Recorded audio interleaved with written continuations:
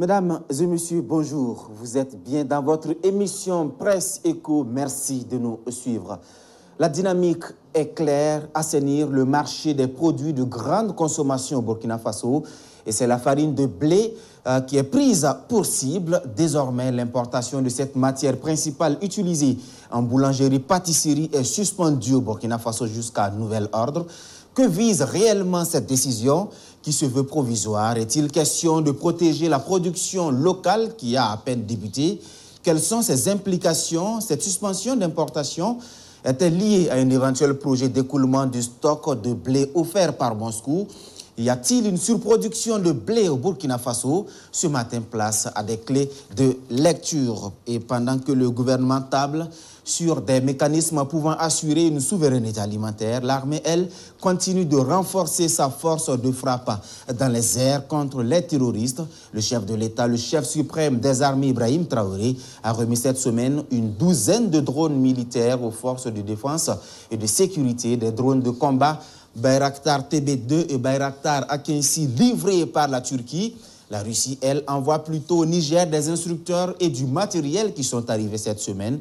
Moscou compte installer un système de défense anti-aérien capable d'assurer le contrôle total de l'espace aérien du Niger.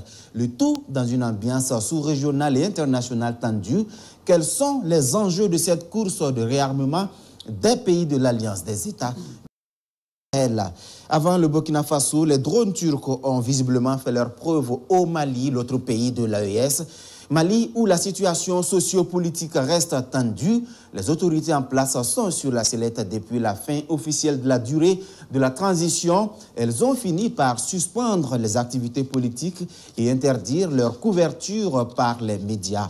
Décision rejetée par la maison de la presse les Nations Unies s'invitent également au débat en appelant Bamako à revoir sa copie et pendant ce temps, les partis politiques se coalisent et refusent de se soumettre à la restriction. Ils ont pondu une déclaration hier. Jusqu'où ira le bras de fer entre les partis politiques et les autorités du Mali? Ministre des Affaires étrangères de la après le Rwanda et le Kenya, Stéphane Séjourné s'est rendu à Abidjan au moment est en ébullition, où la France est en train de perdre son influence dans plusieurs pays, que comprend vite de l'émissaire d'Emmanuel en Côte d'Ivoire. Mesdames et messieurs, voilà pour la résistance de notre rendez-vous du jour. Plateau, docteur.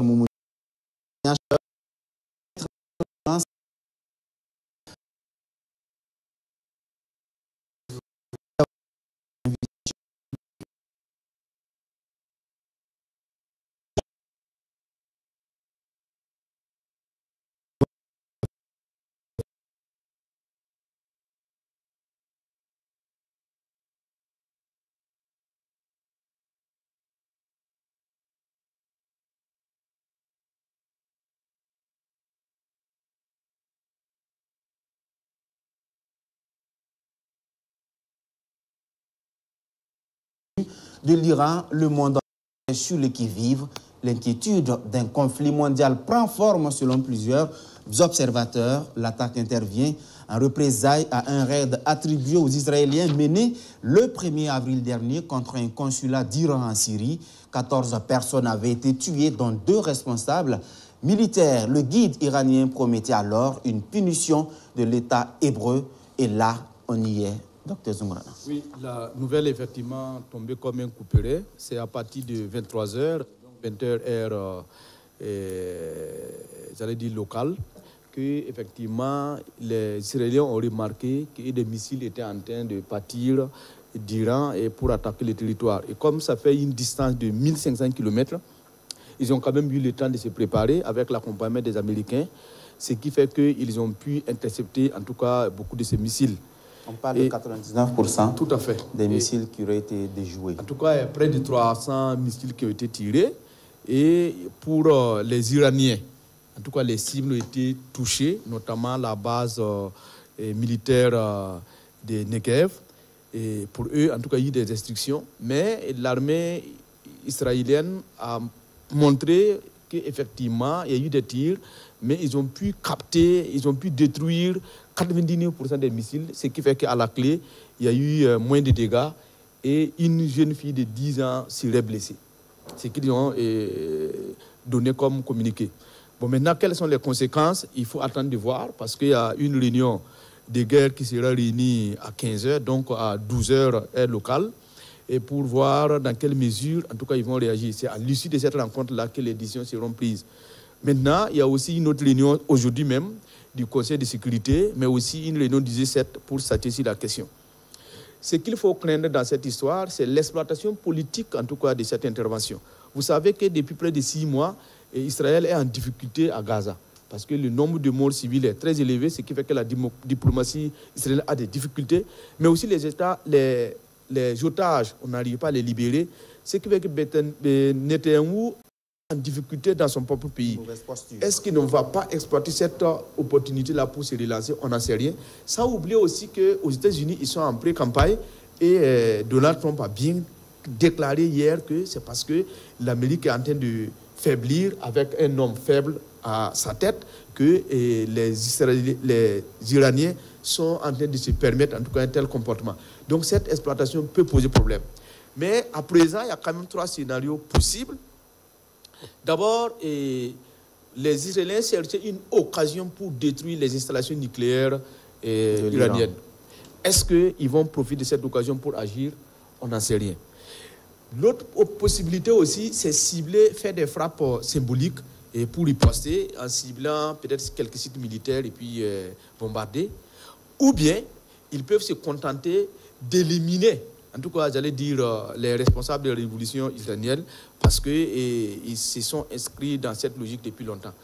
Là où on est sûr, ça ne va pas être un statu quo, d'autant plus que, et, ils l'ont dit, que si l'Iran les attaquait, ce que le, ministre de la Défense a dit, ils seront obligés de réagir et cette attaque fait partie. Mais, les Iraniens aussi ont fait comprendre que non, on a attaqué leur base à Damas, ils ont riposté, pour eux l'incident c'est clos, à moins que l'Israël Israël ne rebondisse. Et là, et la réaction sera massive. L'espoir dans cette histoire, c'est que au moins les Américains été clairs hier. Ils ne vont pas mener, en tout cas, une attaque militaire sur le sol iranien. Ça, ça peut décourager un peu euh, les, Israéliens pour qu'ils n'interviennent pas. Mais aussi, l'Amérique même ne peut pas se permettre une guerre dans cette zone-là, d'autant plus que c'est le couloir, en tout cas par lequel leurs exportations j'allais dire, euh, leur production et leur exploitation commerciale passe. Donc, du coup, ça va être euh, un coup dur pour l'économie euh, américaine, ce qui fait que, en tout cas, cette volonté de mener une guerre totale, ce n'est pas très, évident. Mais attendons de voir, parce que c'est à partir de la réunion de 12 heures là qu'on comprendra ce qui va se passer. D'accord. Adama Bayala, on a comme l'impression, bon, ça a été dit clairement par certains officiels, notamment en Israël, on s'attendait à cette attaque, on s'est préparé à toutes les éventualités. Et déjà, on parle de mesures de rétorsion. Jusqu'où euh, peuvent aller ces mesures? Euh, Le monde entier retient son souffle. Vous l'avez dit, c'est parce que Israël s'était engagé dans une logique anticipative qu'elle a tout fait pour réduire les effets de ces attaques massives coordonnées. Euh, c'est l'escalade de la violence, c'est l'explosion de la violence. Le monde entier a laissé faire pendant très longtemps. Et jusqu'ici, euh, le peuple palestinien écrasé à Gaza jusqu'à Cisjordanie n'avait pas reçu de soutien réel. Sauf que il eut des soutiens du Hezbollah au niveau du Liban, soutien des outils au niveau du Yémen, cette fois-ci, c'est un acteur majeur qui entre dans ce conflit. C'est une puissance nucléaire, l'Iran. Est-ce que Israël, qui, avait, qui aurait du moins attaqué euh, l'Iran hors de ses frontières, va réagir cette fois en s'en prenant à l'Iran à l'intérieur de ses frontières? Si ça se trouve, est-ce que l'Iran va se laisser compter l'histoire? L'Iran pourrait donc s'engager dans ce conflit, ben, la question qu'on se pose, l'Iran va s'engager dans, dans ce conflit tout seul. Israël également, depuis toujours. Vous savez qu'il y a eu une longue série de guerres entre euh, Israël et le peuple palestinien. Et de toute notre histoire, le peuple palestinien a bénéficié du soutien des nations arabes jusqu'en Afrique. Cette fois-ci, est-ce que ces nations-là vont s'engager? Vous n'êtes pas également sans savoir que hier soir également, le peuple israélien a bénéficié du soutien états-unien des États-Unis, pas seulement, il a bénéficié du soutien de la France. Si ça se trouve, et de l'Angleterre, si ça se trouve, et que l'Iran entraînait avec elle d'autres puissances arabes, est-ce que Israël ira à ce conflit seul? J'ai envie de dire, encore et encore, le monde entier respire, le monde entier regarde en Israël. Est-ce les prémices d'une nouvelle conflagration internationale? C'est toutes ces questions que nous nous posons ce matin. Et là, les, pays africains, là je m'adresse à Nana, sont indirectement concernés parce que euh, si vous prenez la situation des pays de l'AES aujourd'hui qui se trouvent euh, être de bons termes avec certains pays du Proche-Orient. Je pense notamment à l'Iran, à la Turquie, euh, qui a justement livré des drones au Burkina Faso récemment. Ce sont des partenariats assez stratégiques. Comment cette tension au Proche-Orient peut-elle peut-être se traduire sur le terrain dans les pays de l'AES euh, Merci. Euh, de toute façon, cette pression, euh, cette tension déjà était là, hein, était, déjà euh, ici au sein de la, des États membres de l'AES. Vous n'êtes pas sans savoir que depuis bientôt six mois, le monde, ce qui s'est passé hier soir était pratiquement sûr que ça allait advenir, parce que face à l'hypocrisie de la communauté internationale, dans la guerre euh, palestinienne. Vous avez vu un peuple palestinien euh, humilié, euh, acculé jusqu'à sa dernière tranche, qui n'arrivait pas effectivement à sauver l'essentiel. c'est les mêmes blocs traditionnels aujourd'hui qui vont se reconstituer. Parce que quand vous prenez l'histoire de ce monde-là, depuis la Première Guerre, la Deuxième Guerre mondiale, les traditionnels blocs se sont constitués avec ce qui s'est passé, ce qui se passe euh, depuis hier soir, euh, au sein de l'AES, euh, c'est sûr et certain que les États membres auront leur mot à dire. Et nous allons effectivement voir, si vous voyez, comment dirais-je, la Russie, l'Iran et l'autre bloc face au, comment on appelle, les pays de l'OTAN c'est sûr et certain que les gens prendront, position et dans les jours à venir, il faut réunir tous les éléments pour pouvoir mener une euh, appréciation plus objective. Mais ce qui est sûr, euh, la guerre, la pression ou la tension euh, de l'autre côté est visible et palpable au sein des États membres de l'AES. Et de toute façon, notre diplomatie, les diplomaties des pays de l'AES, vont se prononcer et effectivement on verra euh, ce que les gens vont prendre comme euh, déclaration de part et d'autre pour permettre. Mais à quelque chose m'a l'air est bien. Je crois que cette, cette guerre-là, elle va permettre à la communauté, aux États, soi-disant puissants, de se reconsidérer.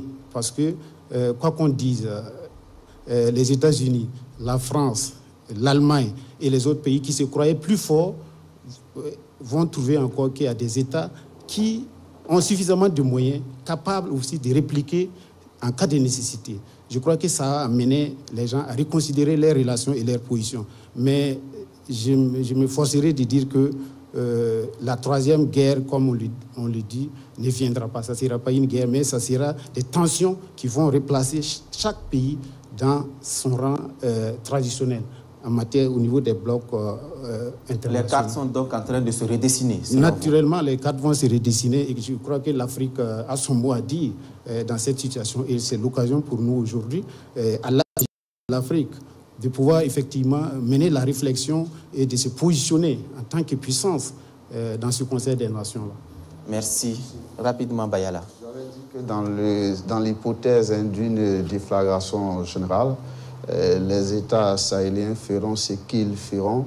Mais j'ai envie de dire, pour la plupart, ils se contenteront de déclarations de principe. Ils ne peuvent pas envoyer des troupes, ils ne peuvent pas fournir d'assistance militaire ni en équipement, ni en renseignement. Il ne prendrait également pas le risque hein, de fournir euh, l'Iran et les nations arabes en matière première, notamment en uranium, pour éviter les représailles des nations occidentales impérialistes. Merci Adama Bayala. Je vous le disais, le Burkina Faso a donc pour partenaire stratégique certains pays du Proche-Orient, notamment la Turquie, le pays de Erdogan, euh, qui a livré la douzaine de drones à l'armée burkinabé. Docteur Zungrana, le Burkina Faso renforce sa force de frappe aérienne. Bon, je pense que c'est ce qui a été donné, je ne trahis pas un secret, puisque ça fait 12 drones, une, disons, je dirais plus de 12 drones qui ont été euh, livrés et avec euh, ce qu'on avait comme arsenal. si j'ai fait une division euclidienne, nous avons 13 régions. Ça suppose qu'on peut couvrir le territoire national. Et euh, avec ces armes qui sont en train de venir, c'est notre puissance de feu qui est en train de s'augmenter. Et c'est un message très fort à l'encontre, en tout cas à l'endroit de, de, nos adversaires. Je pense que cette guerre, il n'y aura pas d'issue. L'issue, c'est la mort. Et c'est pourquoi, très humblement, eh, je leur demande de déposer les armes pour éviter cette fin malheureuse. Quand on suit les images aujourd'hui, eh, c'est décourageant. Ils n'ont qu'à penser à leurs enfants, ils n'ont qu'à penser à leur famille. Et quand vous faites le tour de Ouagadougou aujourd'hui, vous allez voir que la rue est pleine de bambins. Ces bambins où se trouve leur père? Certains, peut-être, les papas sont au front. Certains, peut-être, le papa est mort suite au terrorisme. Et quand tu vois tous ces enfants dans la misère, ils n'ont qu'à penser à ces gens-là pour pouvoir laisser tomber, en tout cas, cette voie qui n'a pas d'issue. Ce qui est sûr, nous avons eh, pris une option. Et cette option-là, c'est d'écraser l'ennemi. Et on est en train de prendre les moyens pour ça. Et avec ce qu'on a vu venir, avec euh, le matériel qu'on vient de recevoir, il n'y a rien à faire. La guerre va repartir de plus belle. Et donc, euh, moi, vraiment, je les demande je ne sais pas pour quelle raison ils sont dans la rue, mais ils n'ont qu'à déposer les armes pour qu'enfin on puisse prendre la voie du développement. Et parce que trop, c'est trop. Quoi. Merci. Ali Nana, des vecteurs aériens, de quoi galvaniser, rassurer euh, euh, Vous avez suivi l'interview du, du, président du FASO euh, en décembre et puis son discours du Nouvel An, dans lequel il disait que le Burkina Faso, l'armée burkinabé s'apprête non seulement à relever les défis sécuritaires nationaux, mais à être euh, une armée qui va aller au-delà euh, des enjeux et, qui sera capable de relever les défis sous-régionaux et internationaux. Donc euh, le président est clair et il a dit qu'il va faire la guerre, il va réunir les moyens pour faire la guerre et je crois que ces armes que nous, nous venons de recevoir aujourd'hui est un signe que le Burkina Faso s'est inscrit et les partants, les pays de l'AES se sont inscrits dans une dynamique de faire correctement la guerre. Et il n'y a pas d'issue, il n'y a pas autre voie que de faire la guerre. Et pour faire la guerre, il faut y réunir suffisamment de moyens. Et je crois que euh, euh, à travers ces, armes aussi, c'est une manière de faire un clin d'œil euh, à la population burkinabé qui se sacrifie non seulement euh, physiquement, financièrement, moralement, euh, pour effectivement euh, tenir cette guerre-là. Parce que quoi qu'on dise, vous savez qu'une guerre asymétrique est suffisamment coûteuse. Même dès lors qu'elle est classique, elle n'est pas facile à, supporter. N'en parlons pas, une guerre asymétrique. Donc je crois que le président du Faso, dans sa politique sécuritaire, a dit qu'il va armer son armée. Donc, il va mettre tous les moyens de son côté pour pouvoir effectivement euh, acquérir tous les moyens. Parce que c'est cette dynamique-là aussi qui a amené euh, en septembre les nouvelles autorités à faire un choix. Qu'est-ce qu'ils ont dit dans les premiers discours? Euh, Parce qu'ils étaient avec un partenaire qui ne jouait pas franc jeu, notamment la France, qui, depuis longtemps, depuis bientôt 7 ans, 10 ans au Mali, et bientôt 7 ans au Burkina Faso, n'arrive pas effectivement à jouer franchement le jeu. Donc, euh, les nouvelles autorités euh, qui ont signé des accords ou bien qui ont choisi d'aller avec la Russie, euh, la Turquie et autres aujourd'hui, je crois que c'est ces accords-là qui permettent d'avoir facilement ce qu'on a aujourd'hui. Parce qu'antérieurement parlant, depuis bientôt, il y a cela une année, deux ans, pour avoir ces armes au Burkina Faso, ce n'était pas évident. Non seulement ce n'était pas lié aux moyens, mais c'était les conditions d'acquisition parce que les accords étaient tellement que pour payer une arme, il faut passer par le maître. Le maître, c'est qui? C'est celui qui était là, qui ne jouait pas franc avec nous. Donc aujourd'hui, nous avons de nouveaux partenaires, une opportunité de pouvoir s'armer, faire face à, à, à, comment à ce terrorisme-là et donner une assurance et une garantie au peuple-là qu'il a une armée capable de relever non seulement ces défis sécuritaires-là, mais les défis qui viendront après. Parce que notre sous-région et notre, euh, notre sous-région, euh, l'Afrique et le monde aujourd'hui est plongé dans une turbulence dont personne ne sait l'issue. Donc chacun s'apprête en fonction des moyens qu'il a pour pouvoir effectivement être euh, présent quand l'appel sera donné au niveau mondial. Merci. Adama Bayala, il l'a dit, ces vecteurs aériens, en tout cas, euh, sont acquis dans un contexte où, quelque temps seulement avant, disposer euh, d'un appareil, ne serait-ce que pour aller chercher peut-être des FDS tombés au front, relevait d'un parcours de, de combattants. C'est absolument à saluer. Euh, c'est vraiment quelque chose de salutaire. C'est une très belle évolution que nous devons au courage léonin de notre chef d'État et également à tous les chefs d'État des États du Sahel. Et M. Nana l'a dit à l'instant, et notre chef de l'État au détour de certains discours, a eu l'occasion de le souligner et que les puissances occidentales partenaires, celles d'hier, euh, nous refusaient même l'acquisition des armes létales et qu'il arrivait à certains éléments de nos sécurités de faire le vigile, d'assurer des postes de sécurité avec euh, des, bâtons. C'était fort regrettable. Aujourd'hui, euh, il ne viendra à personne de blâmer nos responsables qui ont décidé de diversifier les partenariats en allant cette fois-ci vers la Russie. La Russie qui se présente comme euh, le meilleur, le plus grand marchand d'armes en Afrique, également vers la Turquie. Le chef de l'État a dit que les puissances impérialistes d'hier occidentales installées au Burkina Faso euh, faisaient beaucoup d'obstructions, beaucoup de restrictions. Et vous n'êtes pas sans savoir que on a enregistré ici au Burkina Faso un sentiment de dépit euh, de l'ancien ministre en charge de l'administration territoriale le ministre d'État Simon Comparé, passé cet épisode, il y a eu également euh, une réaction de dépit, celle de l'ancien ministre en charge de la Défense, Chérifsi. Quelque temps après, vous avez suivi notre histoire. Il a été débarqué. ce n'est pas le Burkina Faso qui vivait malheureusement cet épisode. Il y avait également euh, le Niger, sous Mahmoudou Youssoufou, qui avait envoyé en Russie le ministre en charge des Affaires étrangères pour activer le processus d'acquisition de 12 hélicoptères. Semble-t-il que la France a mis un veto ici.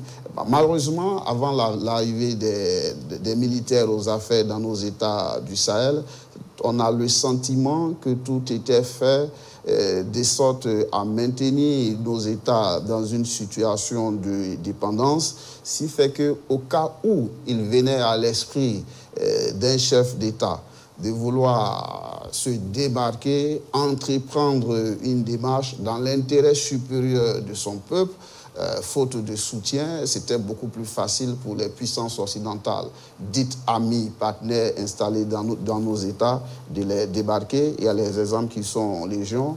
Regardons un peu au sud en Côte d'Ivoire ce qui s'est passé dans l'épisode de la crise post-électorale et un peu partout. Ben, ce que moi je voudrais dire que je retiens qui est intéressant, c'est que l'acquisition de ces 12 vecteurs aériens fait suite à d'autres acquisitions. On a eu droit à des munitions, on a eu droit à des pick-up, à des blindés. Euh, j'ai envie de dire, le Burkina Faso aujourd'hui est en train de passer lentement et progressivement dans les rangs des pays africains les plus armés. Et le ministre en charge de la Défense l'a dit, que dans cette première phase, viendra encore une autre acquisition très, très, très bientôt. Mais le fait le plus marquant, c'est qu'on est en train de banaliser la médiatisation des acquisitions d'armes. Moi, j'ai cru comprendre que l'armée, c'était une zone de, la grande miette, une zone de secret, il ne fallait pas. Est-ce que par cette médiatisation, nous ne contribuons pas par nous-mêmes au sommet de l'État à informer euh, nos ennemis que désormais euh, nous allons de puissance en puissance, nous dotons de nouvelles armes qui peuvent faire davantage plus mal. Est-ce qu'il euh, n'aurait pas été intéressant de prendre l'ennemi par surprise? Même s'il venait à apprendre que ah, le Burkina est en train de se armer, ça pourrait rester dans la zone de supputation des rumeurs. Comme ça, je crains fort que nous ne contribuions par nous-mêmes à informer les acteurs terroristes. Pas seulement. J'ai eu également euh, eu le sentiment d'avoir compris que euh, la crise qui se posait à nous pourrait être résolue et au plus vite et que c'était une toute petite question de logistique. Euh, sauf que depuis un bon moment, nous sommes en train de nous armer. nous montons, j'entends dire ici et là, en puissance sur le terrain. Sauf que malheureusement également, parallèlement à la montée en puissance de nos hommes, de nos soldats, nos vaillants soldats que je salue au passage, euh, les devoirs des terroristes aussi euh, ne cessent hein, de, rebondir, de se réadapter et puis de frapper et de faire beaucoup plus mal qu'ils ne faisaient hier. Et j'ai envie de dire, à qui avons-nous à, affaire C'est une question importante. Faut-il mobiliser autant d'armes, autant de ressources pour combattre l'Itvora du, du terrorisme? Il est présenté par certains acteurs, par certains experts, comme un cancer. Un cancer qui ne cesse, au fil de l'évolution de notre histoire, de se métastaser et de prendre racine dans notre tissu social, dans notre corps social. L'île vorace du terrorisme, il est présent dans le front, il est présent en brousse, il est présent à l'arrière-front, dans les villages, dans les villes. Il est avec nous. A-t-on besoin d'autant de militaires pour combattre l'île vorace du terrorisme J'ai envie de dire que l'option militaire a fait ses preuves. Parce que vous n'êtes pas sans savoir que sous le magistère de Blaise et de Roch, Marc-Christian il avait trompété et dit qu'il n'y aura pas de négociations, nous ferons la guerre. Sauf qu'il a été contraint à un moment donné d'ouvrir parenthèse des négociations qui a permis au Burkina Faso de vivre les élections présidentielles de 2020. Cette parenthèse ayant vite été euh, refermée, arriva ce qui devait arriver depuis lors. Nous avons fait euh, l'option de la guerre. Quel est le résultat? Euh, Je me suis prêt à croire qu'il faut, en plus de l'option militaire, explorer d'autres pistes. je pense notamment aux pistes de médiation, intermédiation, de négociation, de dialogue. Il faut activer les ressorts traditionnels, les ressorts endogènes. Il faut solliciter le concours, l'appui j'ai envie de dire, des personnes des ressources, des leaders communautaires, des chefs traditionnels, des chefs euh, religieux.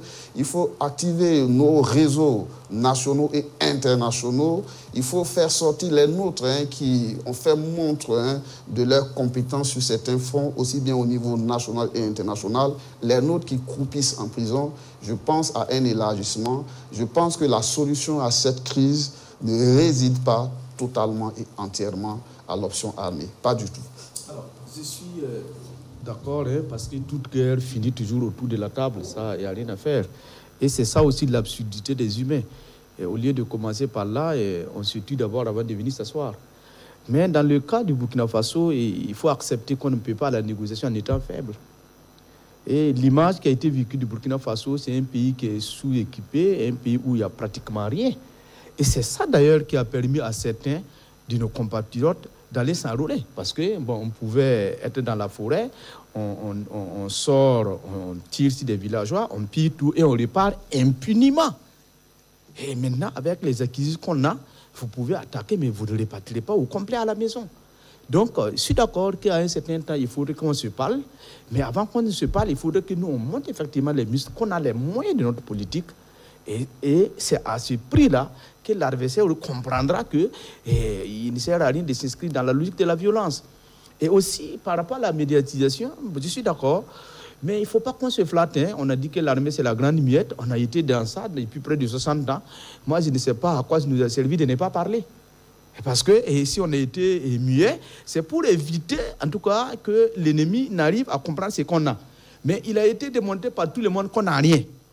Ça a été dit, tout le monde est au courant. Et si on acquiert quelque chose pour que ces paradigmes-là changent, il faudrait qu'à un certain temps, on rassure la population que désormais, nous sommes bien équipés.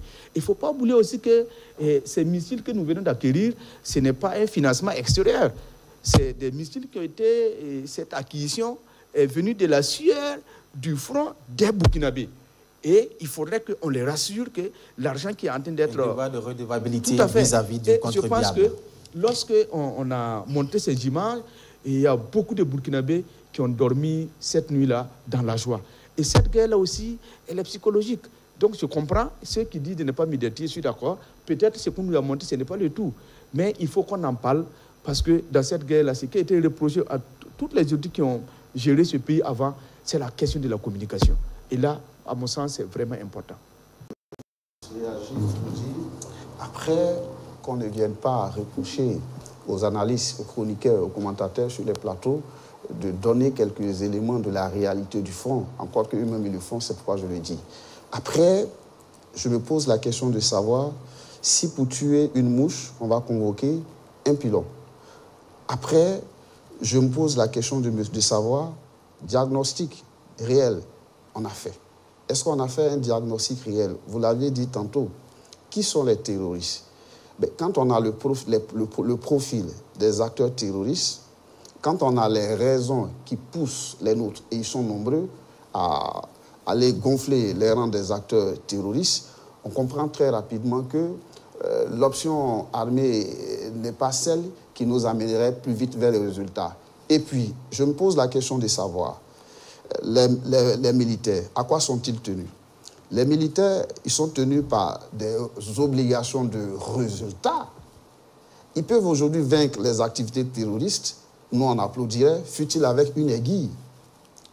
Ils peuvent mobiliser aujourd'hui des missiles, passez-moi l'expression, sol-sol-air, des missiles supersoniques balistiques, et puis ne parvenir à aucun résultat. Ce n'est pas ce qu'on veut. Nous avons besoin de résultats. Fut-il des médecins, ce sont eux qui ont obligation de moyens. Vous avez un patient, il est passé de vie à trépas, on vous demande qu'est-ce que vous avez administré comme soin? Vous allez citer tout ce que vous avez pu faire, on vous dira que la vie ne dépend pas de vous. Vous avez fait votre part contributive, même pour des militaires. Je me prêt à croire qu'ils ont des obligations de résultats. Qu'ils arrivent à libérer le territoire national comme ils l'ont prévu, avec des balais, nous on applaudit. Ce n'est pas un dialogue. Hein. Mais faudrait dernière réaction, voilà, faudrait la parole à Alinana. Il faudrait qu'on se réveille. On ne peut pas gagner une guerre de cette nature avec des gourdins. Ce n'est pas possible. Et le discours qui est circulé, c'est quoi? Les terroristes sont mieux armés que nous. Et ça, c'est un problème psychologique pour nos militaires et pour nos VDP. Si c'est la présentation de ces armes, si l'acquisition de ces armes peut les mettre en sécurité, s'il y a les moyens, il faut les faire. Je suis d'accord, hein, il faudrait qu'on se parle. Mais avant qu'on ne se parle, il faudrait que l'ennemi sache qu'en face de lui, il a un homme. Et attention, il ne faut pas oublier que cette guerre-là, ce n'est pas seulement contre le terrorisme. Vous voyez comment l'ébullition est en train de se dérouler autour de nos frontières. Et si on veut être en sécurité, c'est contre tout, à l'intérieur comme à l'extérieur. Et pour moi, un pays faible elle ne peut pas compter dans le Conseil des Nations. Et pour ça, il faut être clair. Merci. Ali Nana, vous avez, parlé tantôt de guerre asymétrique, c'est connu. Ce qui veut dire que l'ennemi ne se déplace plus de façon massive, il n'est pas directement localisé dans une zone déterminée, il est confondu aux populations. Est-ce que dans ce contexte, l'efficacité d'un drone peut véritablement être avérée? Naturellement. Euh, euh, je disais tantôt que les armes sont un moyen de dissuasion. En période de guerre, les armes sont un moyen de dissuasion. Et les belligérants se doivent effectivement d'avoir suffisamment de moyens et trouver les canaux communicationnels pour les porter à l'ennemi. Il faut que l'ennemi sache que mon vis-à-vis ou tel moyen. Parce que de par le passé, eh, c'est nous qui nous adaptions comment à la stratégie de l'ennemi. Aujourd'hui, je souhaiterais que, à travers ces acquisitions-là, que ce soit l'ennemi qui cherche à s'adapter à notre stratégie. Et c'est ça la guerre. Euh, revenant à votre question. L'idéal, c'est d'en finir avec cette guerre, pas que l'ennemi puisse s'adapter. Oui, mais de toute façon, les uns les autres l'ont dit, la situation reste euh, tendue. La, la situation reste. Les localités entières qui restent sous blocus des terroristes, c'est difficile. parce que la difficulté vient de ce que vous venez de dire, la complicité interne. L'ennemi se confond à la masse aujourd'hui. L'ennemi est partout. Et quand vous parlez, vous discutez avec les spécialistes euh, de la guerre, euh, actuellement au Burkina Faso, parlant de la, des officiers de, l'armée, ils disent que ce qui fait la complexité, ce qui rend difficile cette guerre asymétrique, c'est la complicité que les terroristes ont pu effectivement établir entre eux et puis la population civile que ce soit au niveau de l'armée, que ce soit au niveau des populations euh, civiles, on, dénomme énormément de complices à l'intérieur de, nos contrées. Donc il faut travailler non seulement à avoir suffisamment de moyens et joindre à nos différentes stratégies euh, utilisées d'autres moyens, non seulement, notamment les moyens que Bayala vient de, parler, mais allant effectivement euh, dans le sens d'être en position de force. Parce que dès lors que vous n'êtes pas en position de force, il serait difficile de parler à l'ennemi, surtout dans le cas, dans notre contexte actuel. Et quand vous parlez, de toute façon, nous sommes en train de sortir petit à petit de cette guerre dite asymétrique. Ce n'est plus une guerre asymétrique, c'est une guerre, nous, connaissons euh, approximativement les acteurs principaux de cette guerre. C'est une guerre par procuration, c'est une guerre qui est pilotée ou pilonnée de l'extérieur par les forces rétrogrades. Ça, il faut avoir le courage de le dire. C'est la guerre que nous faisons face aujourd'hui, à laquelle nous faisons face aujourd'hui. Ce sont des Burkinabés qui nous attaquent. Non, mais Selon les présentations des services de renseignement, oui. Euh, lors des rencontres, on dit que les terroristes sont essentiellement des Burkinabés. C'est des Écoute, les forces rétrogrades utilisent les bras locaux toujours pour euh, faire la guerre. Vous avez vu un blanc venir, même l'esclavage. Quand nous partons à descendons dans l'histoire, nous euh, voyons comment l'esclavage se menait. Est-ce que les blancs venaient rentrer dans les campements du Burkina Faso pour attraper nos parents? Ils ont toujours utilisé des valets locaux, des mains locaux pour faire les sales boulots. Et aujourd'hui, nous savons qui sont derrière cette guerre-là. Et il faut s'armer au maximum. Et je crois que ce que nous sommes en train de voir là, il faut aller au-delà. S'il faut même faire sortir tout l'armement du Burkina Faso exposé à la place de la nation, que les gens voient que le Burkina Faso est en passe de devenir un pays très puissant. Parce que ce qui fait, euh, comment dire, ce qui fait euh, qu'une armée euh, soit aguerrie, c'est quoi? C'est l'expérience dans la guerre. Vous voyez l'armée tchadienne aujourd'hui. Vous savez que l'armée tchadienne est l'une des meilleures l'une des meilleures armées, tant redoutée à tous les niveaux c'est l'armée tchadienne qui a fait la guerre en Centrafrique. Vous savez comment ça s'est passé? Toute la politique centrafricaine était effectivement depuis N'Djamena, Idriss Déby Père, parce que simplement il avait une armée conquérante. Et je crois que nos, nos autorités aujourd'hui, en décidant d'aller à la guerre, doivent effectivement travailler à réunir suffisamment de moyens, non seulement techniques et humains, pour faire face à la guerre. Parce qu'aujourd'hui, l'ultime solution, c'est d'aller à la guerre et de reconquérir notre territoire. Maintenant, si à la fin, l'ennemi est affaibli et que euh, l'ennemi euh, croit qu'il est nécessaire de poser le débat de dialogue ou de, de, réconciliation, alors nous serons prêts. Mais aller aujourd'hui à la réconciliation ou bien euh, aller à d'autres, sur d'autres pistes périlleuses, je crois que la meilleure formule aujourd'hui, c'est de faire la guerre et d'aller aux résultats. Et c'est les résultats qui nous permettront effectivement. Deux petits éléments, pardonnez. Je, rapidement. Très rapidement. Je voudrais dire que euh, l'approche militaire, il faut aller à la guerre. Ça a été dit sur le plateau, ce sont les nôtres, ce sont nos sœurs, nos frères qui sont acteurs terroristes aujourd'hui. Certains sont tenus dans les rangs des forces du mal par une pauvreté matérielle culturelle, spirituelle, mentale. Qu'est-ce qu'on fait depuis lors pour essayer d'élever leur niveau de conscience? Qu'est-ce qu'on fait? C'est une réelle question. Et vous avez parlé également de stratégie militaire. Il convient de relever que toute stratégie militaire procède des surprises. Qu'il s'agisse des attaques aériennes, on a pris l'exemple des attaques euh, iraniennes sur une longue portée qui a permis aux Israéliens et à leurs amis de se réorganiser, de contenir ces agressions. Qu'il s'agisse de la première, la deuxième guerre mondiale, où on a vécu des guerres de tranchées. Tout ça, ça procédait par des surprises.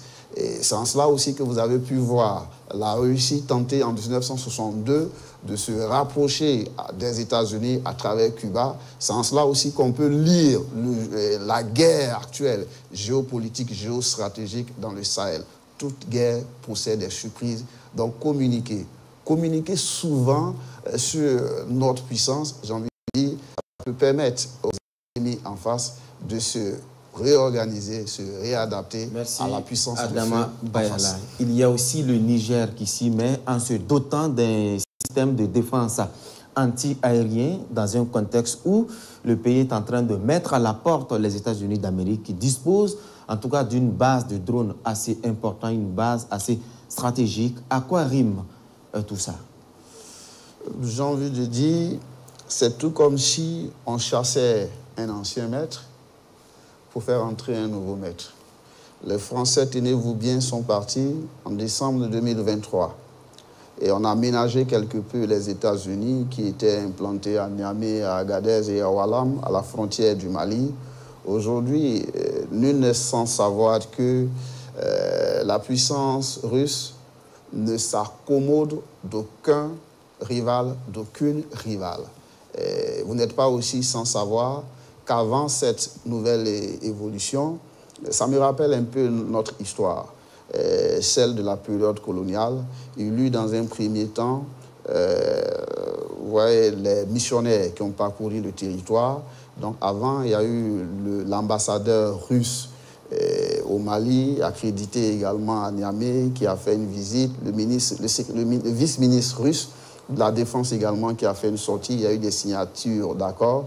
Aujourd'hui, vous l'avez dit, euh, c'est la fourniture des armes, un système de défense aérien qui va permettre à, et euh, les jours à venir, que va-t-il se passer? Euh, Je me prêt à croire que les États-Unis seront forcés de partir comme la France est partie. Aussi, ce qui est un peu nouveau dans cette évolution, c'est-à-dire, il y a eu le travail des missionnaires, c'est le travail militaire qui est en train de prendre place. La nouveauté dans l'implantation militaire, euh, c'est un peu comme au Burkina Faso, on avait dit qu'on avait besoin de logistique et que nos VDP étaient nos Wagner. Euh, au Niger, on a vu, hein, et ça a été médiatisé même dans, les, dans la presse d'État, on a vu des soldats russes, une centaine. Euh, débarquer au Niger. Ça, c'est une nouveauté parce qu'ils d'instructeurs russes. Instructeurs russes. Mais en fait, qui sont-ils Il y a de réelles questions. Est-ce que ce sont des éléments de l'armée régulière russe?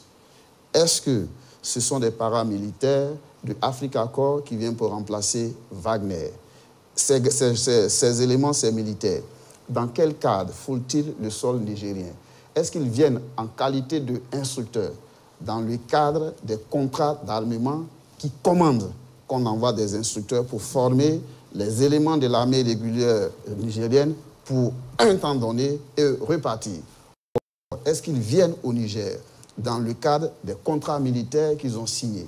Est-ce qu'ils viennent au Niger pour toute la durée de la lutte contre le terrorisme? Voilà autant de questions que nous nous posons. Alors, ils viennent également, qui les prend en charge? Est-ce que c'est le bon ami, c'est le partenaire russe qui les prend en charge? Est-ce que c'est l'État nigérien qui les prend en charge? C'est un partenariat entre deux États C'est des questions que nous posons. Et, c'est des questions que nous posons encore qu'il y a des puissances occidentales qui étaient installées ici, qui, à travers les coopérations militaires, prenaient en charge la présence de leurs hommes sur nos territoires. Ces questions valent d'être posées aussi bien au Niger qu'au Burkina Faso.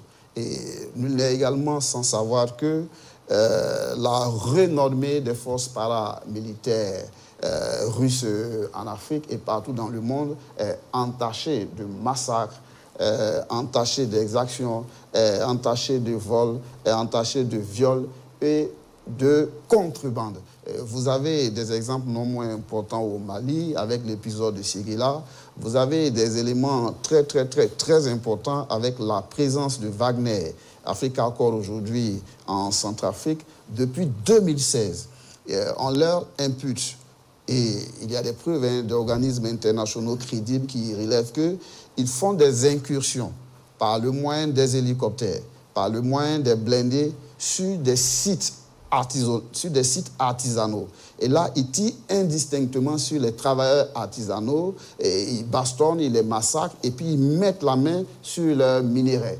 Alors, est-ce que les autorités nigériennes ont intégré ça avant de faire venir ces instructeurs russes? Est-ce qu'on va, se, on va se contenter de la centaine d'éléments qui est là?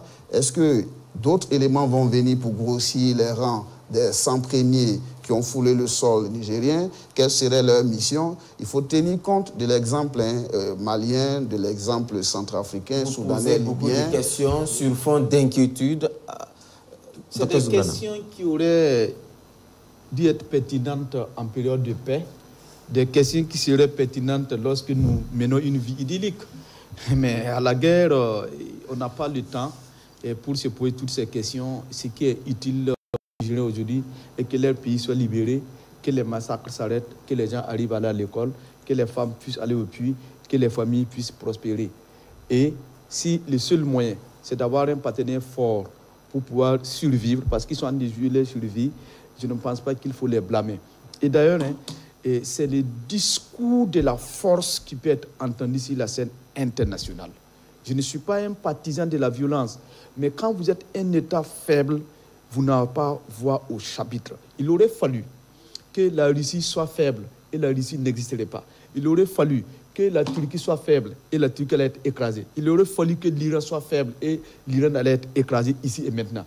Donc, pour cette raison, je suis d'accord, hein, et on ne doit pas vivre rien que des armes, mais en attendant, soyons forts pour se faire respecter.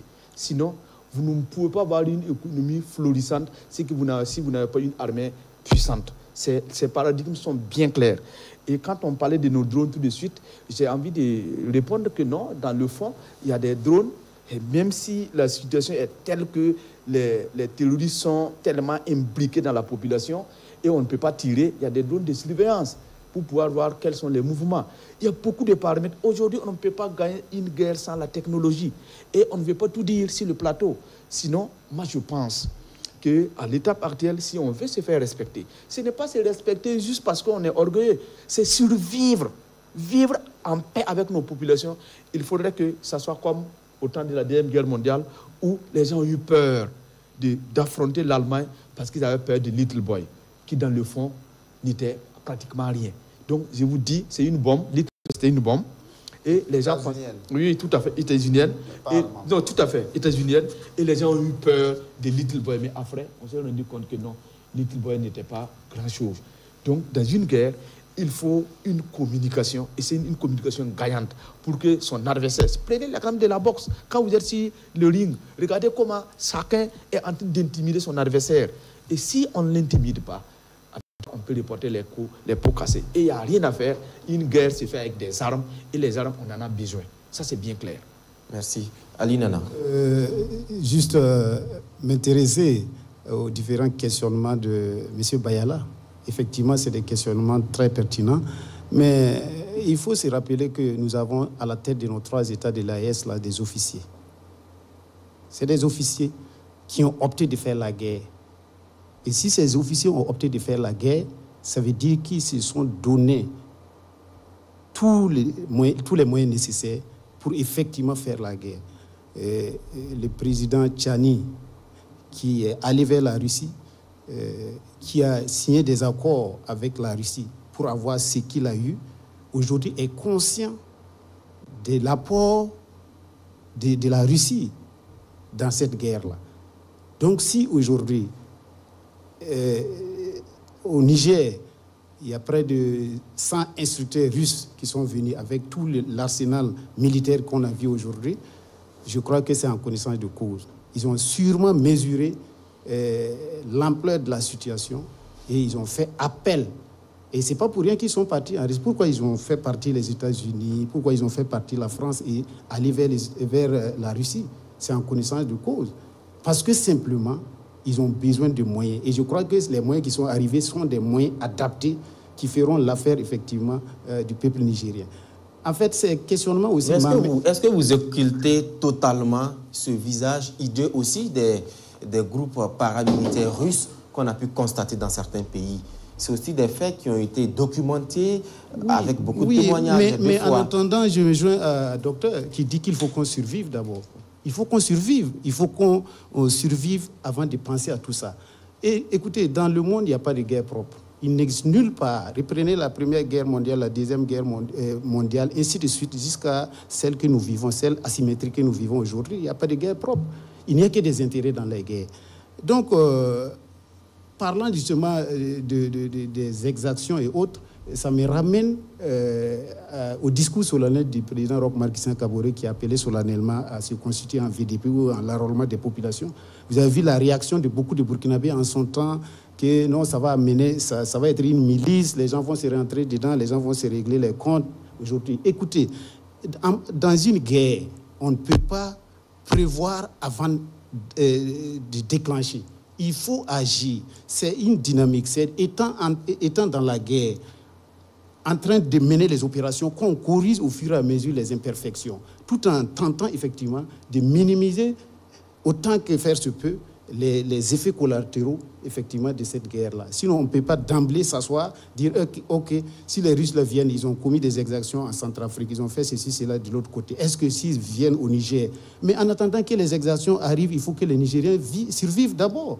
Il faut qu'ils vivent dans les territoires dignement sur les territoires d'Ima. Au cas contraire, euh, on va se euh, jeter euh, des flèches et puis on ne trouvera pas la formule nécessaire effectivement pour faire face à ce terrorisme-là. Au fur et à mesure, très sincèrement, que je vous écoute, je suis inquiet.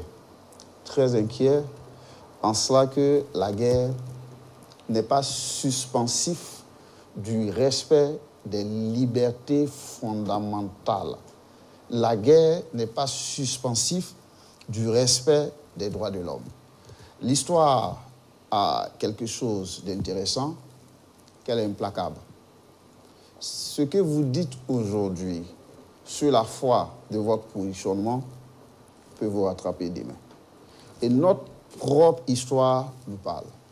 Il y a une égérie de l'insurrection populaire dont je veux taire le nom pour sa personne, pour son mouvement, qui pendant la transition de 2014-2014, avait dit qu'en période d'exception, on ne pouvait pas respecter les droits de l'homme. Qu'il y avait urgence, il y avait à agir. Après, on allait rattraper et colmater les rustines. Mais aujourd'hui, sous l'ère d'une nouvelle transition, Dieu est tellement juste qu'il parle. Cette personne, elle est aujourd'hui au cachot du désespoir. Ce que je voudrais également dire, outre cette remarque, les instructeurs russes sont là. Pas seulement au Niger, dans d'autres États du Sahel. Et leur présence dans certains États remonte à quelques temps. Encore que la plupart de ces États ont fait le pari euh, de la médiatisation des activités militaires. Nous avons la faiblesse de croire que nous aurons la chance de voir les jours à venir, euh, les activités d'entraînement des paramilitaires. Si ce n'est le cas, ce serait également de nature à alimenter le moulin de ceux d'entre nous qui, peut-être à tort, pensent maintenant que ces instructeurs, ces supposés instructeurs ou ces instructeurs russes sont venus pour protéger les pouvoirs militaires. Rapidement, docteur rapidement 30 secondes, on passe au prochain sujet. oui, oui, par rapport à son intervention, parce que c'est très, quand même, je crois que ce qu'il a dit, c'est assez profond. Bon, rapidement, euh, vraiment, je 10 secondes. Peut-être, je ne sais pas si je me suis fait comprendre par M. Bayala, je n'ai jamais dit qu'en période de guerre, les droits fondamentaux et des libertés... C'est doivent... que non, vous avez Non, c'est un sentiment. Ce n'est pas une déclaration, je ne l'ai pas dit.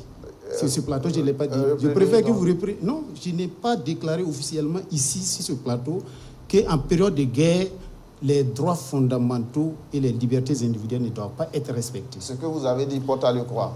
Non, c'est le moment de clarifier, clarifier votre point. Si en période de guerre, c'est une question de survie aujourd'hui. Aujourd'hui, je ne sais pas, M. Bayala, peut-être vous pouvez aller chez vous euh, bonnement. Il y a des gens depuis 5 ans qui ne sont jamais allés dans les villages. Il y a des gens qui ont perdu tout, toute la dignité possible dans, dans, dans ce pays-là. Ils ont perdu tout, ils n'ont rien, sauf l'air euh, physique qui, qui circule aujourd'hui. Il y a des gens qui ont tout perdu. Donc, quand j'ai dit Si nous restons à l'entendre, c'est comme ça que nous avons fait sous roc et puis nous avons laissé la chose aller jusqu'à ce point.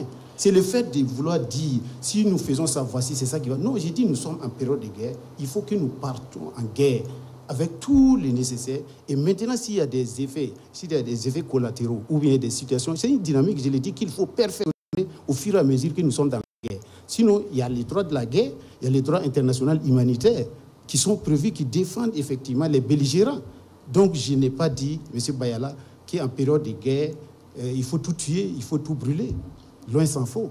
C'est loin de mon opinion. Je voulais simplement dire que euh, les discours qui ont été véhiculés tendant à dire que euh, les Russes, un peu partout, ils respectent rien, ils écrasent tout, je j'écoute ça avec beaucoup de prudence que c'est le discours rapporté par les adversaires russes surtout. Jusqu'à preuve du contraire, je n'ai pas entendu ces discours de la bouche des Russes eux-mêmes. Et lorsque... En Centrafrique, il y a eu des témoignages de Centrafricains eux-mêmes. Je suis parfaitement d'accord.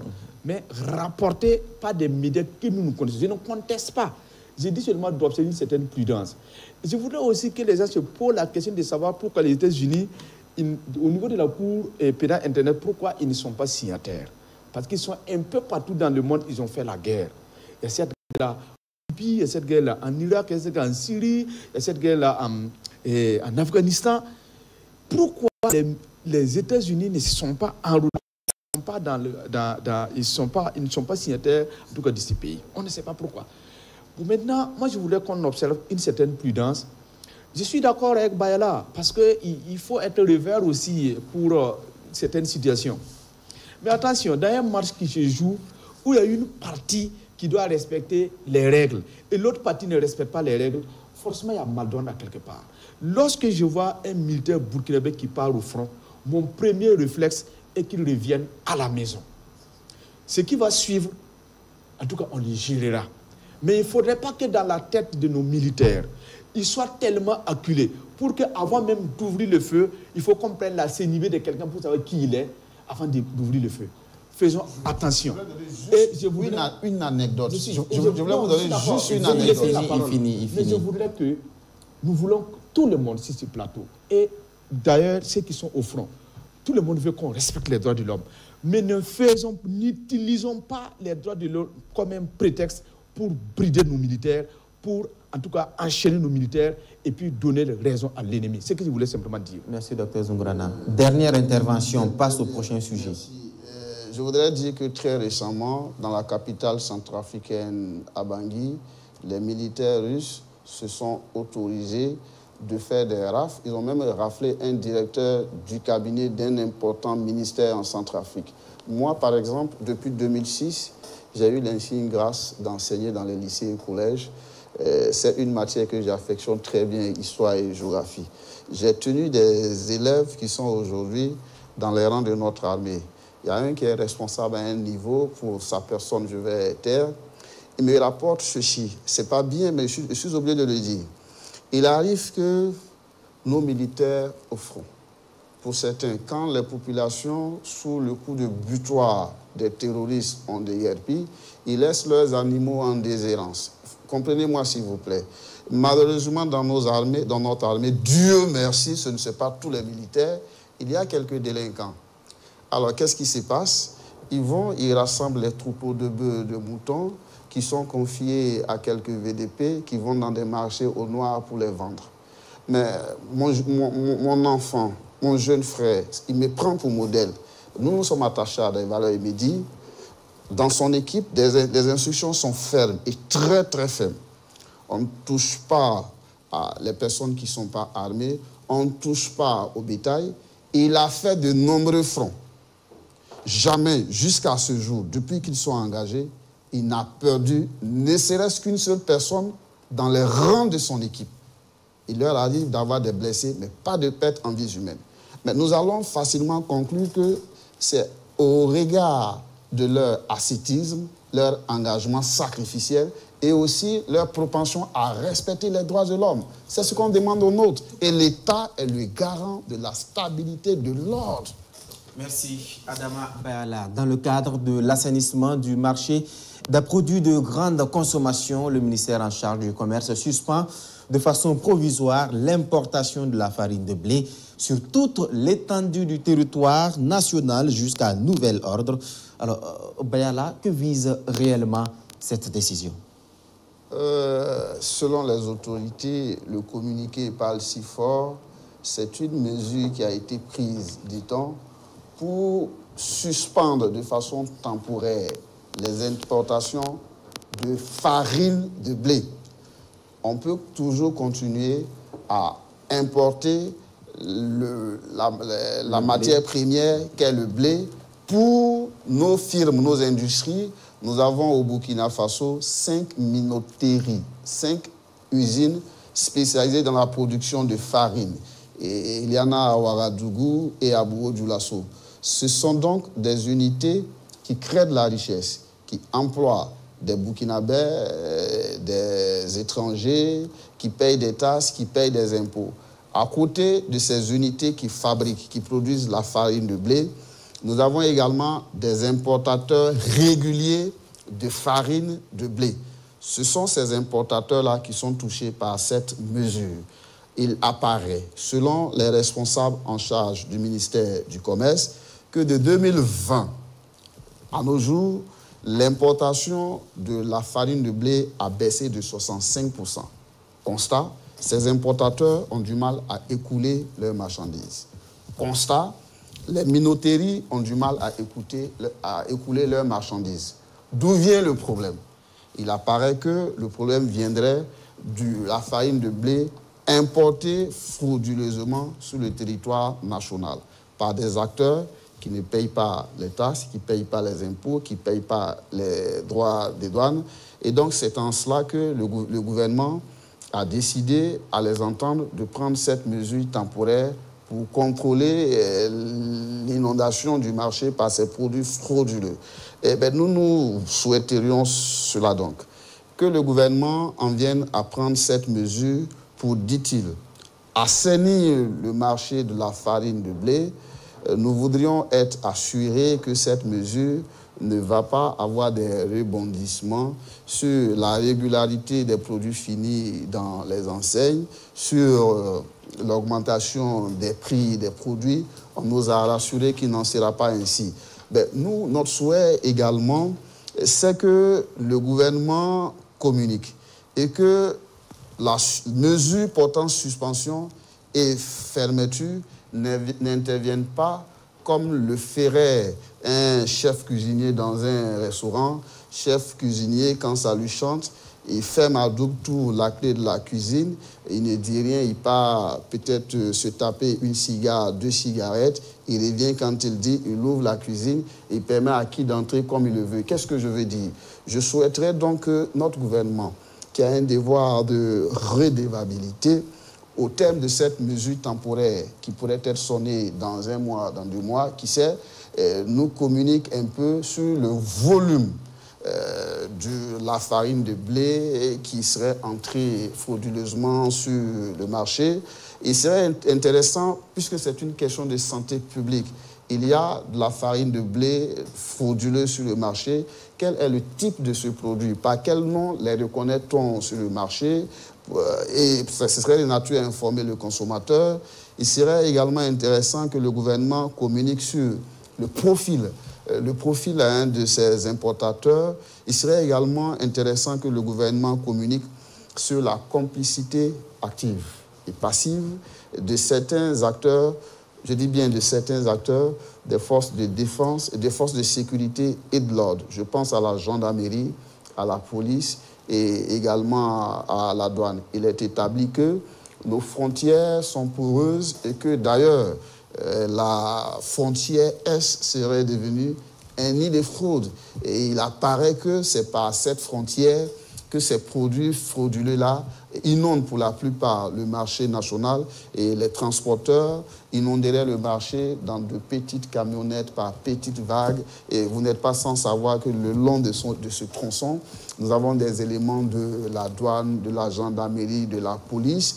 Et il serait intéressant également que notre gouvernement communique pour terminer sur les dispositifs et les mécanismes de prévention de lutte contre la fraude. Sinon, cette mesure serait de nature, vous l'avez dit tantôt dans euh, l'introduction, euh, pourrait être interprétée comme une mesure tendant à permettre à l'évacuation euh, des 25 000 tonnes de blé que la Russie nous a donné. Justement, euh, qu'en est-il de cette thèse, Alinana Moi, c'est ce qu'on entend, euh, que selon l'opinion, de façon officielle, qu'il s'agit là de pouvoir écouler ce que la Russie nous a donné et, que d'autres aussi disent que non, c'est parce que simplement le Burkina Faso commence à être un grand producteur de blé.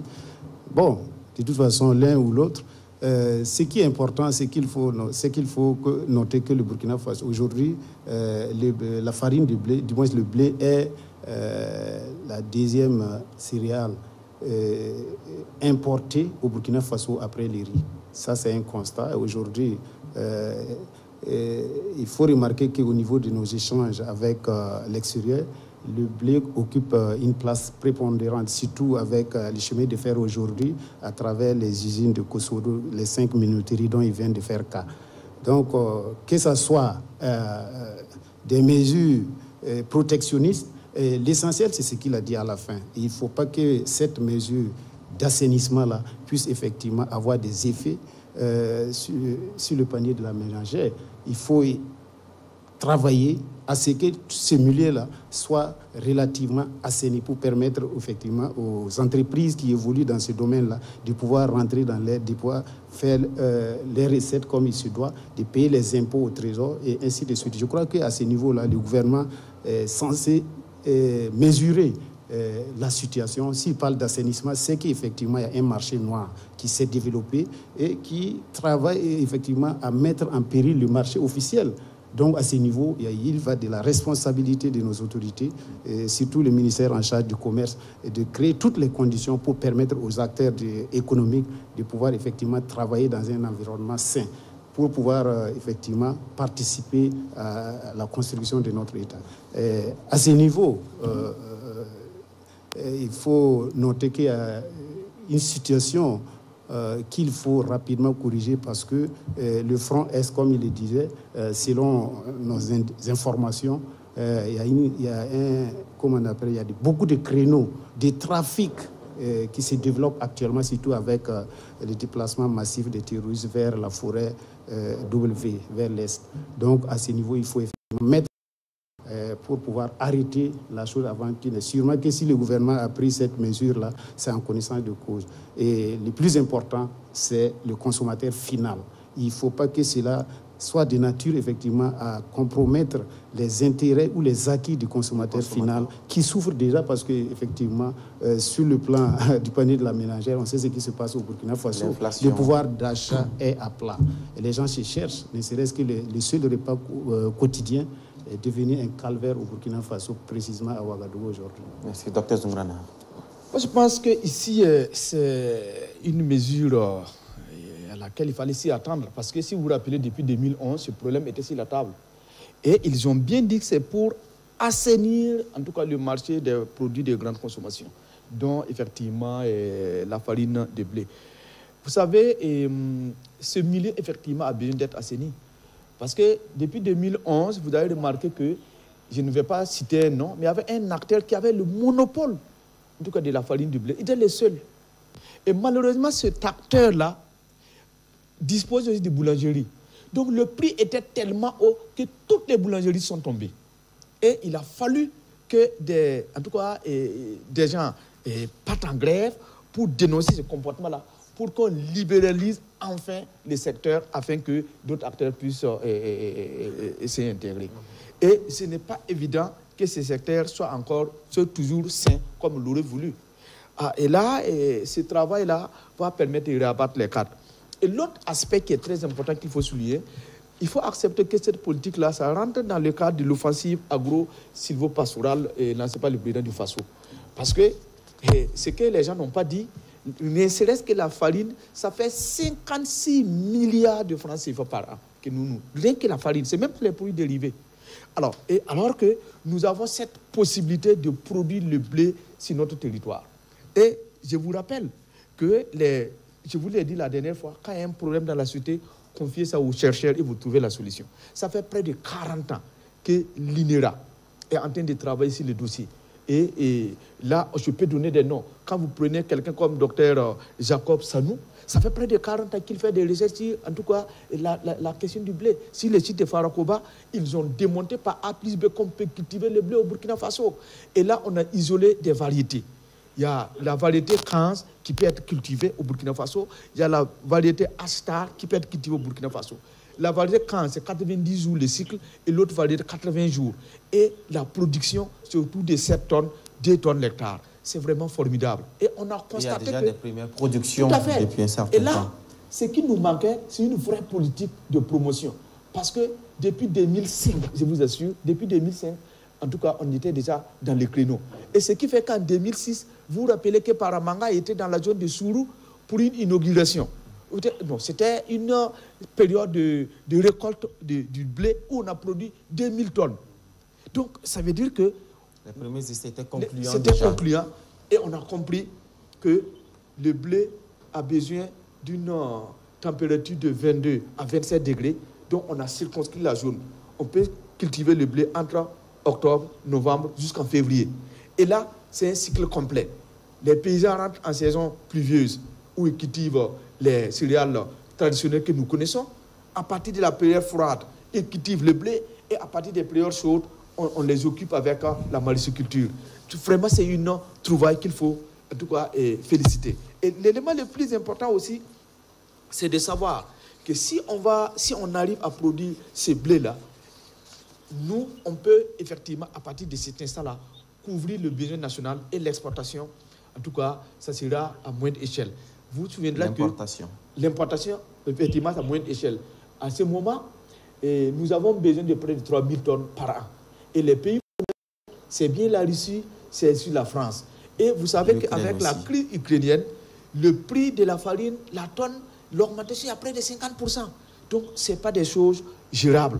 Et Maintenant, comme il y a un comme on est sûr qu'on peut le faire sur notre euh, territoire, je pense qu'avec cette mesure-là, les gens vont y aller et en tout cas, on pourrait euh, couvrir ça. C'est pourquoi je dis et je répète, quand il y a un problème, la solution, c'est dans la recherche.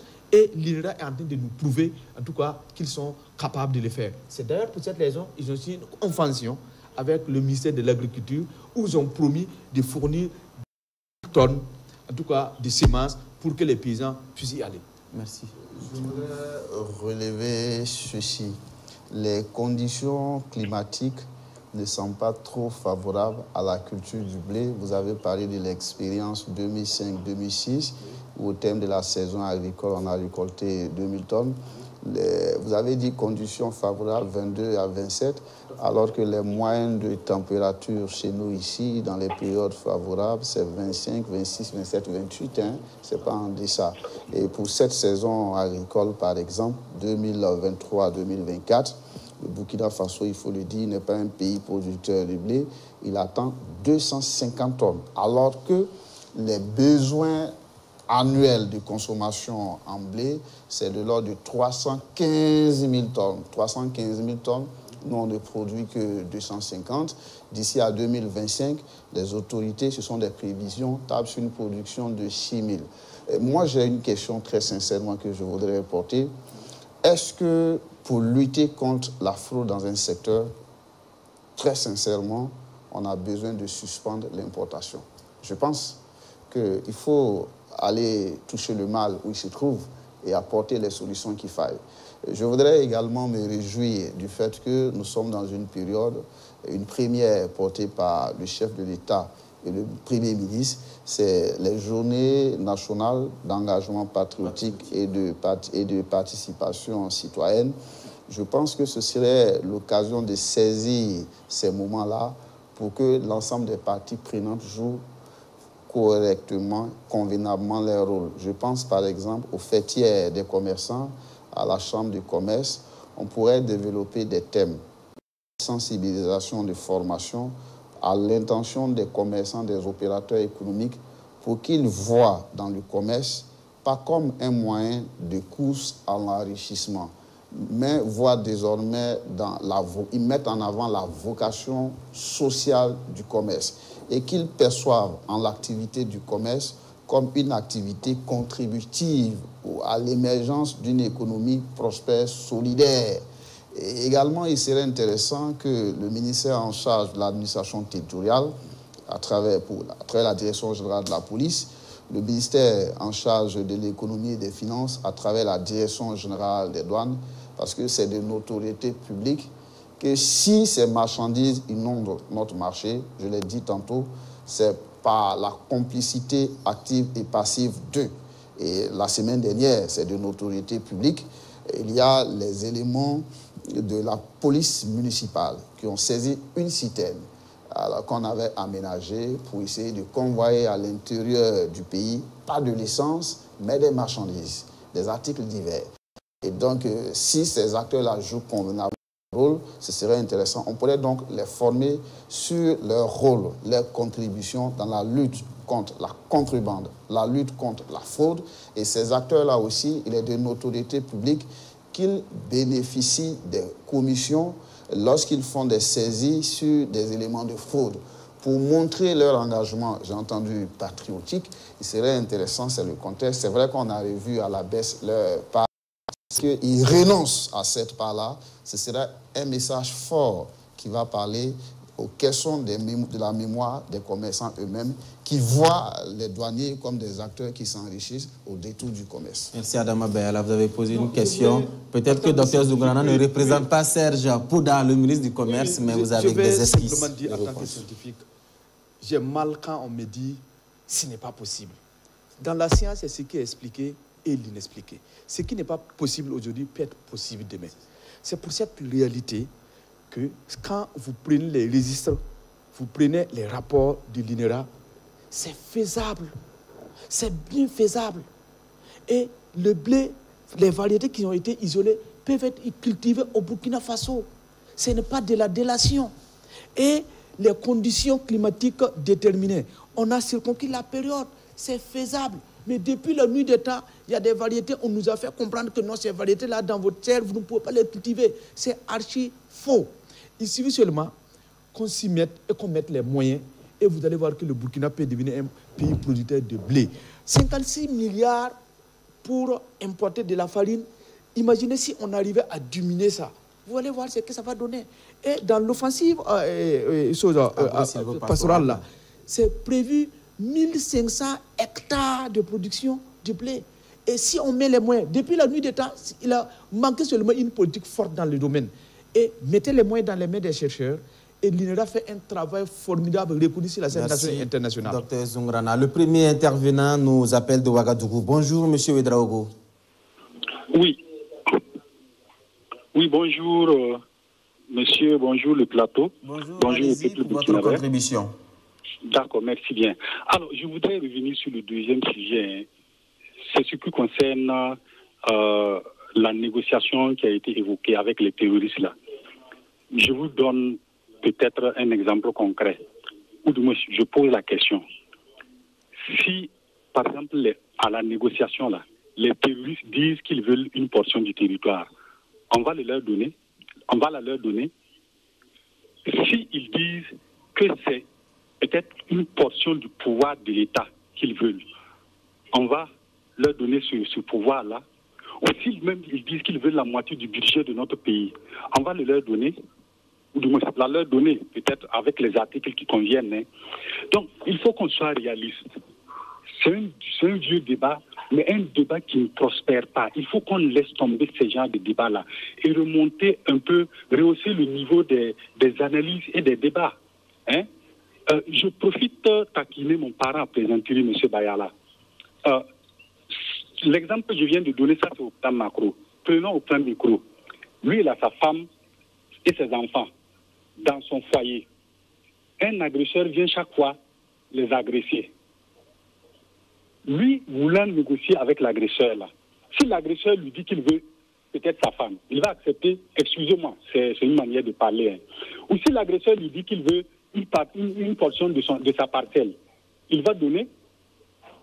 Donc, je pense que il faut qu'on, ici, là, même les, terroristes, là, ils n'ont pas de tête. Hein? Là, ils sont où? Monsieur Bayala est sur le plateau. Si je veux Monsieur Bayala, je sais où le trouver. Les terroristes, là, ils n'ont pas de tête. Hein? Et même s'il y a une tête, vous savez, quand on parle de l'île terroriste, il peut avoir plusieurs têtes. Vous négociez avec cette tête. Demain, c'est une autre tête qui va sortir de l'autre côté. Voulez encore négocier avec vous. Dans ces cas-là, vous faites comment? Revenons au niveau micro que je disais là. Même si, si son agresseur lui demande, s'il a un chien, parce que c'est mon parent présenté, si le, son agresseur lui demande la tête de son chien là, s'il était arrêté devant son, son agresseur avec une Kalachnikov là, je suis sûr que M. Bayala va rentrer dans sa chambre, hein, prendre un AK-47 parce que son agresseur aurait demandé la tête, ou du moins aurait demandé son chien. Vous savez que les Bourussi aiment trop la viande de chien, donc il ne va pas négocier. Donc, si tu ne peux pas négocier la viande ou ton chien avec ton terroriste ou ton agresseur, c'est pas. Donc, euh, il faut qu'on rehausse le niveau du débat, quoi.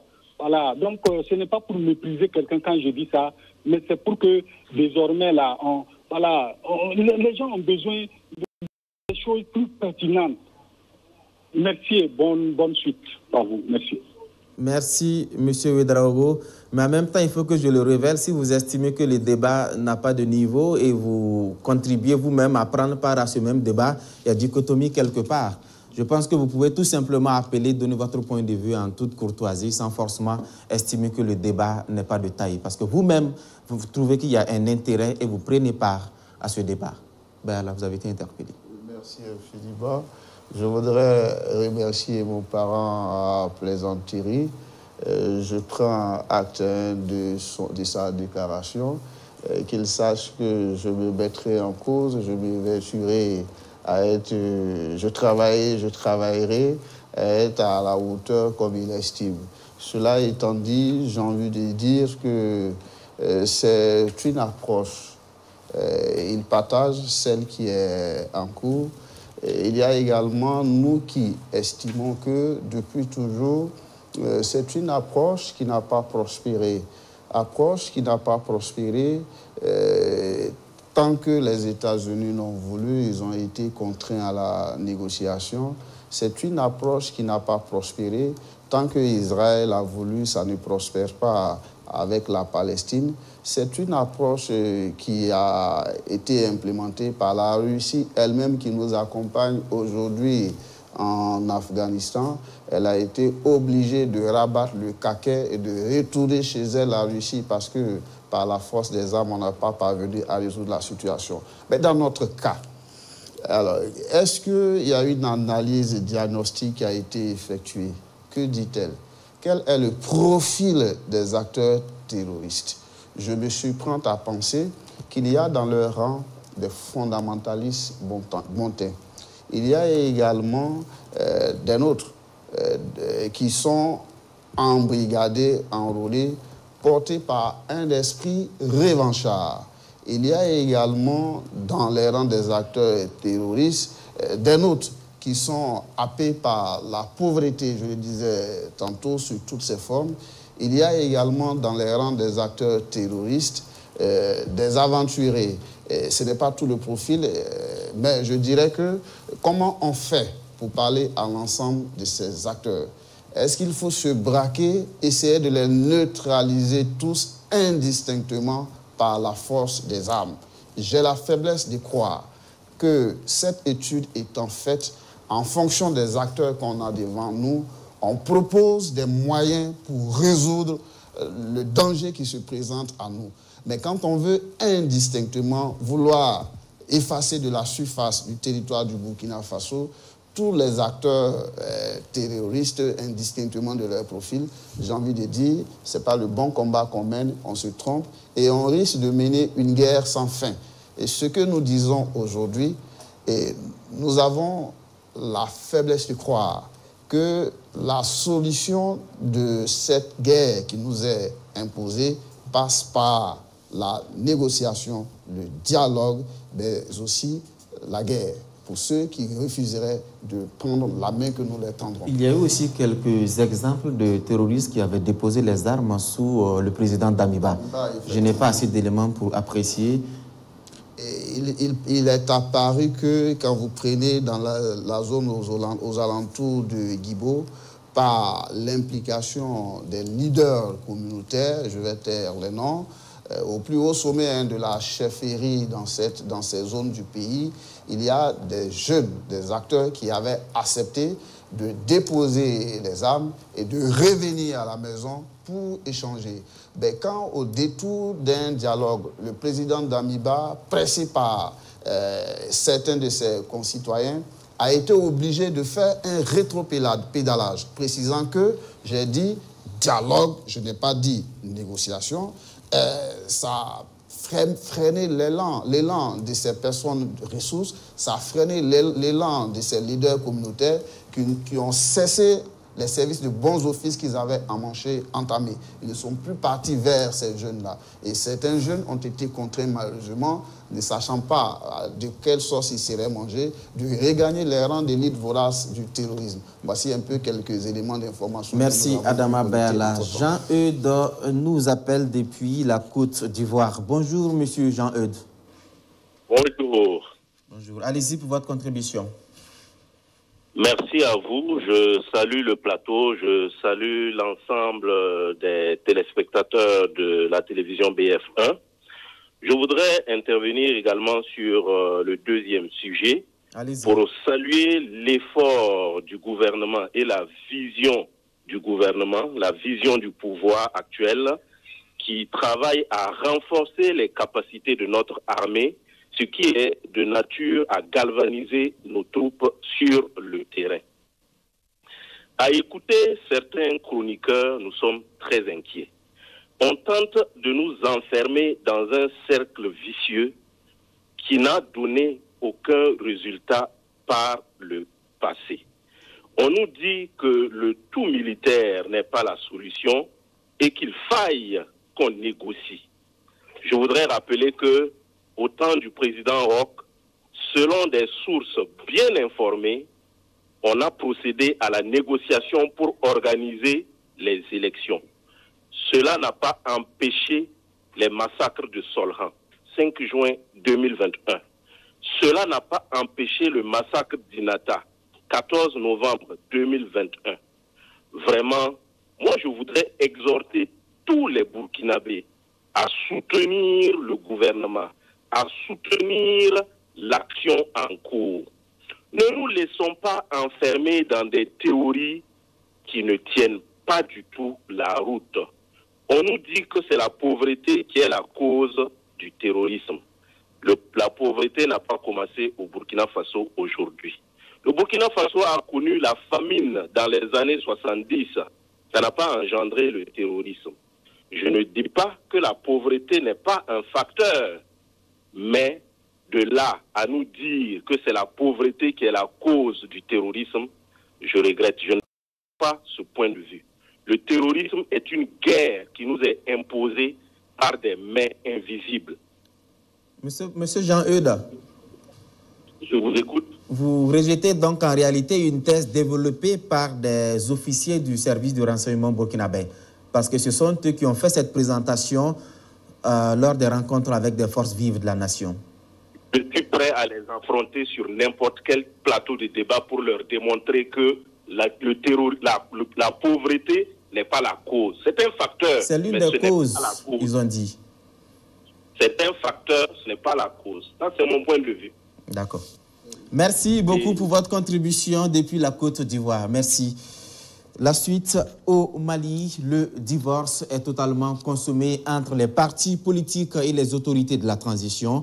Les activités politiques des partis et des OSC sont suspendues par un décret présidentiel pris donc cette semaine. Docteur Zungrana, c'est parti pour un autre bras de fer. Bon, je pense que ce qui arrive au Mali, ça ne fait pas tellement beau parce que euh, mais je comprends hein, la réaction des uns et des autres parce que c'est un peu long. C'est depuis 2021 euh, qu'ils sont dans cette situation. Et, 2020, pardon, pardon. Et jusqu'à présent, il n'y a pas une feuille de route claire. Bon, c'est ça aussi qui inquiète peut-être les hommes politiques et certains euh, moments de la société civile. Et qui fait qu'aujourd'hui, bon, les Maliens, au lieu de se concentrer l'essentiel, bon, il y a une autre, une autre porte de conflit qui sont en train d'ouvrir.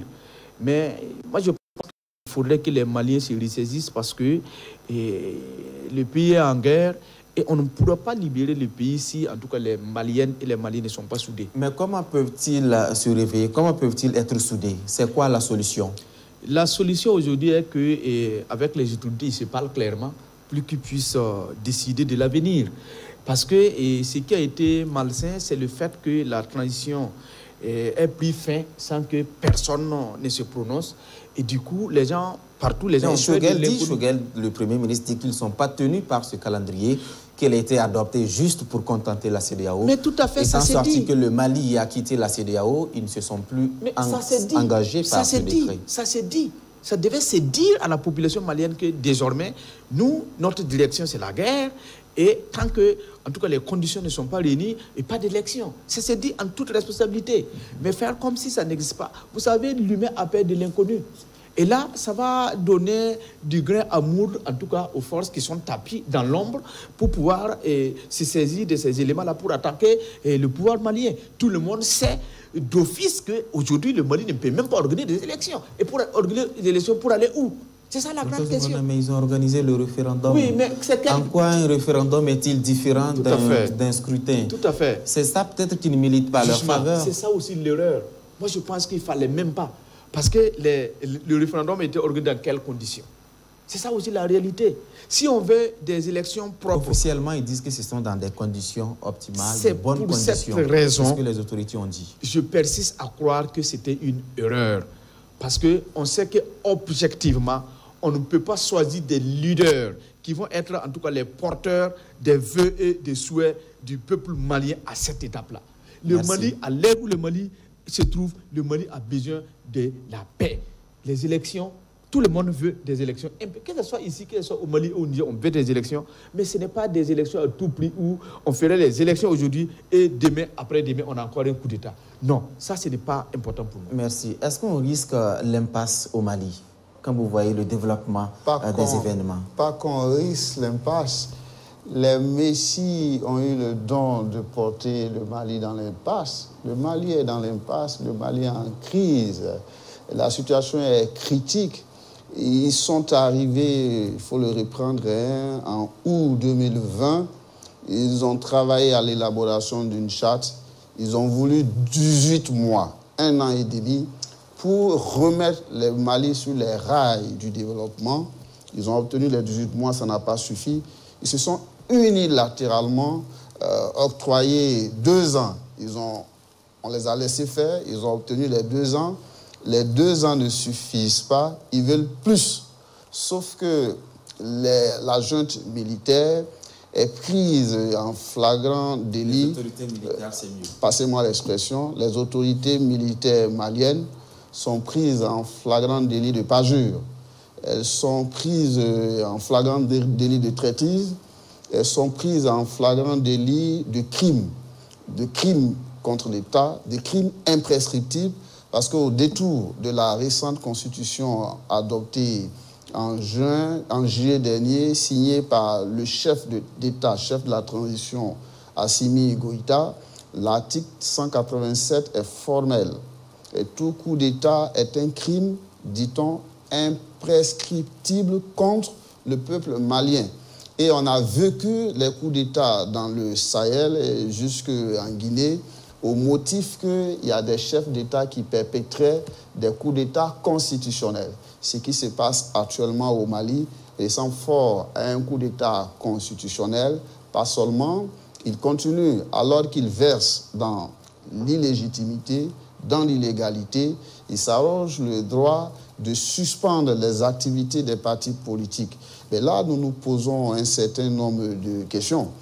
Euh, à qui va s'appliquer cette mesure? Aux partis politiques qui sont contre le système? Est-ce que ça s'applique également aux associations qui sont contre le système Pour finir, et les associations? Les partis politiques qui sont pro-système, est-ce que ça va s'appliquer à eux? Ils ont dit aux partis, les activités politiques euh, organisées par les partis politiques, les associations et les organisations de la société civile. C'est ce que le décret dit. C'est des questions que je pose, s'il vous plaît. Est-ce que cette, Mais comme on a la réponse à cela, on le dit, on s'en tient à ce qui est officiel. Ah non, quand on regarde un peu dans la sous-région, euh, ils n'ont pas été droits, ils prennent des mesures qui sont bonnes pour ceux qui les pourfendent, ceux qui les critiquent. Mais quant à eux, non.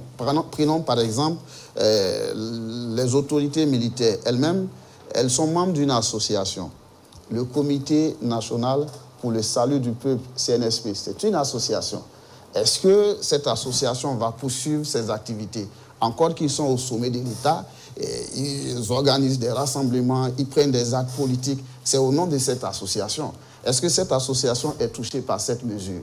Ben, Ce qui est intéressant, c'est que euh, le peuple malien, à travers les organisations de la société civile, à travers les partis politiques, ont vu ça venir. Et aujourd'hui, il n'y a pas que les acteurs politiques, il y a également les ordres professionnels. On a eu les magistrats, on a vu les procureurs qui sont entrés dans la danse. J'ai la faiblesse de croire que l'étau est en train de se resserrer autour des militaires. Ah, qu'est-ce qu'ils vont faire? Euh, Est-ce qu'ils vont foncer tête baissée? Est-ce qu'ils vont se cramponner sur le dialogue national pour la paix et la réconciliation? Qui a déjà commencé par les assises communales et qui est projeté pour le mois de décembre Est-ce que tous ces partis qui sont frappés tous ces mouvements qui sont frappés par cette mesure vont se laisser dicter par le tempo voulu par une chose est claire, ces organisations ne peuvent pas compter sur la Cour constitutionnelle. Jusqu'ici, elle aurait pu se prononcer en cela qu'elle a été saisie par des organisations professionnelles. Silence. Les organisations ne peuvent pas compter sur la Cour constitutionnelle en cela qu'elle avait déjà donné la mesure de la partie qu'elle joue en 2020 des suites des élections législatives. C'est une cour sur laquelle on ne peut pas compter. Et les Maliens, qu'est-ce qu'ils vont faire? La population malienne, qu'est-ce qu'elle va faire? Euh, Tous les regards sont braqués vers le Mali, sachant qu'en 2020, des suites des élections législatives, ils ont donné une part, ils ont donné à voir ce qu'ils sont capables de faire, sachant que en, 2000, en 1991, face dictature étouffante, écrasante de Moussa Traoré, qui a duré un peu plus de 28 ans, ils ont donné une partie de la mesure qu'ils sont capables de jouer. Et ce qui est aussi intéressant, c'est qu'il y a des acteurs qui ont pris part à la scène qui s'est jouée en 1991, qui sont encore aujourd'hui là, qui sont acteurs politiques. Regardez Oumar Mariko, euh, fait des lances de l'association des élèves et étudiants maliens. Euh, vous avez également ceux qui ont pris part au dernier mouvement, qui sont là, qui se retrouvent dans les mêmes organisations, avec l'imam Mahmoud Diko, qui annonce son retour imminent au Mali. Pardonnez C'est Carmen appelle l'insurrection, ça Non, ce n'est pas un appel. J'ai dit qu'ils vont jouer une partie. Une partie à quoi? Une partie à quoi Aujourd'hui, les autorités maliennes euh, se cramponnent sur une logique, conserver le pouvoir, le pouvoir pour le pouvoir. Alors que la Constitution, vous lisez les articles 14, 15, 16, 17, la Constitution actuelle signée par le président consacre la libre création des organisations, associations, partis, partis politiques. Elle consacre également la liberté des activités. On ne comprend pas que eh, les dirigeants à qui on a confié momentanément le pouvoir prennent la résolution du tort de la main de tous ces acteurs nationaux. En gros, vous refusez d'entendre toutes ces voix qui estiment que le Mali est toujours en guerre. Pas question d'organiser les élections. Les élections ne sont pas la priorité du Mali. Vous refusez. J'ai envie de dire que c'est vrai que les élections ne sont pas la priorité. La priorité du Mali pour l'heure, c'est la guerre. Mais on mène la guerre avec qui? On mène la guerre avec un chef de guerre. Un chef de guerre qui a le don de mobiliser derrière lui toutes les couches de la population dans leur diversité. Mais quand un chef devient clivant, il a le don de mobiliser, de dresser une partie de la société contre lui. Et ce qui est d'autant plus choquant, c'est que c'est l'ensemble de ces acteurs qui s'étaient mobilisés hier fragiliser le pouvoir d'Ibrahim Boubacar Keïta qu'il est venu rassembler. Après, ça fait quatre ans ils sont là. C'est la preuve que les militaires ne sont pas la solution à la lutte contre le terrorisme.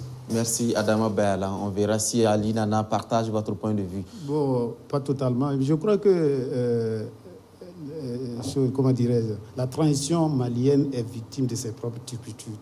Il leur a manqué la constance et la communication, les deux éléments fondamentaux qui ont manqué effectivement et que les autorités de transition malienne effectivement ont raté. Il leur a suffi simplement, comme le docteur l'a dit, à un certain moment, à une certaine étape de l'exercice du pouvoir, de réunir ce qu'on appelle toutes les forces vives de la nation, comme ils l'avaient déjà fait, pour leur dire, nous sommes venus en 2020 dans l'intention de libérer notre territoire. Aujourd'hui, le constat est clair. Nous avons fait ce qu'on peut. Nous avons pu libérer Kidal. Nous avons pu faire ceci, cela. Nous mettons les acquis sur la table. De l'autre côté, voici ce que nous n'avons pas pu faire. Alors, nous vous invitons à une assise ou à, des assises ou bien à un dialogue pour que le peuple décide. Parce que pour ceux qui ne savent pas, l'opinion malienne est très forte. Euh, la société civile euh, malienne est très forte. Les partis politiques maliens, ont, de toute façon, depuis sous Moussa Traoré, vous avez vu ce qui s'est passé en 1991, à la chute de Moussa Traoré, et comment les choses se sont organisées. Donc, il, a il suffisait simplement que cette transition-là euh, convoque tous les acteurs qui, au niveau ensemble, ils vont décider effectivement de la conduite, de comment conduire les affaires, euh, parce que à partir le, le, comment, la première date du 26 mars était pratiquement intenable. Donc cette situation-là, il fallait partager avec euh, tous les acteurs. Bon, les gens, comme Bayala l'a dit, les gens ont essayé pour contenter l'opinion, pour essayer de diviser euh, la société civile et les partis politiques pour avoir la majorité et puis aller. Mais écoutez, une date fixée reste une date fixée. À l'arrivée, il faut se décider.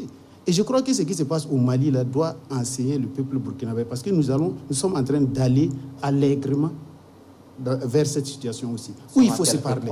Il faut se parler. Il faut se parler. Il n'y a pas meilleure solution. Il n'y a pas une arme efficace en matière de gestion du pouvoir d'État que la communication. Et, pour moi, le, la transition malienne a manqué. Ils ont communiqué, mais dans le sens, effectivement, de consolider euh, leurs acquis. Et vous avez écouté, vous avez suivi Sougel Maïga. Il a dit à un certain moment de, l'évolution du pouvoir, il a dit que non, et le discours euh, souverainiste est bien beau, ça mobilise, mais à un certain moment, euh, c'est le résultat qui va compter.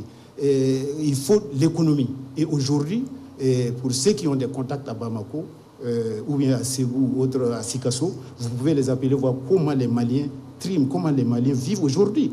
Il est évident qu'il faut se sacrifier pour libérer son pays, pour la souveraineté nationale tant chantée, mais je crois qu'il y, a une limite. Mais il y a tout a une limite. Il faut effectivement travailler à réunir les acteurs. Et puis, ce qui n'arrange pas la situation, euh, je lisais hier même euh, un poste de euh, l'imam Diko qui est parti à Kidal, qui, du moins à, partir d'Alger, qui a fait un poste et qui est en train de s'en prendre à la transition. Et les gens savent aussi ce que l'imam Diko représente dans l'opinion publique malienne.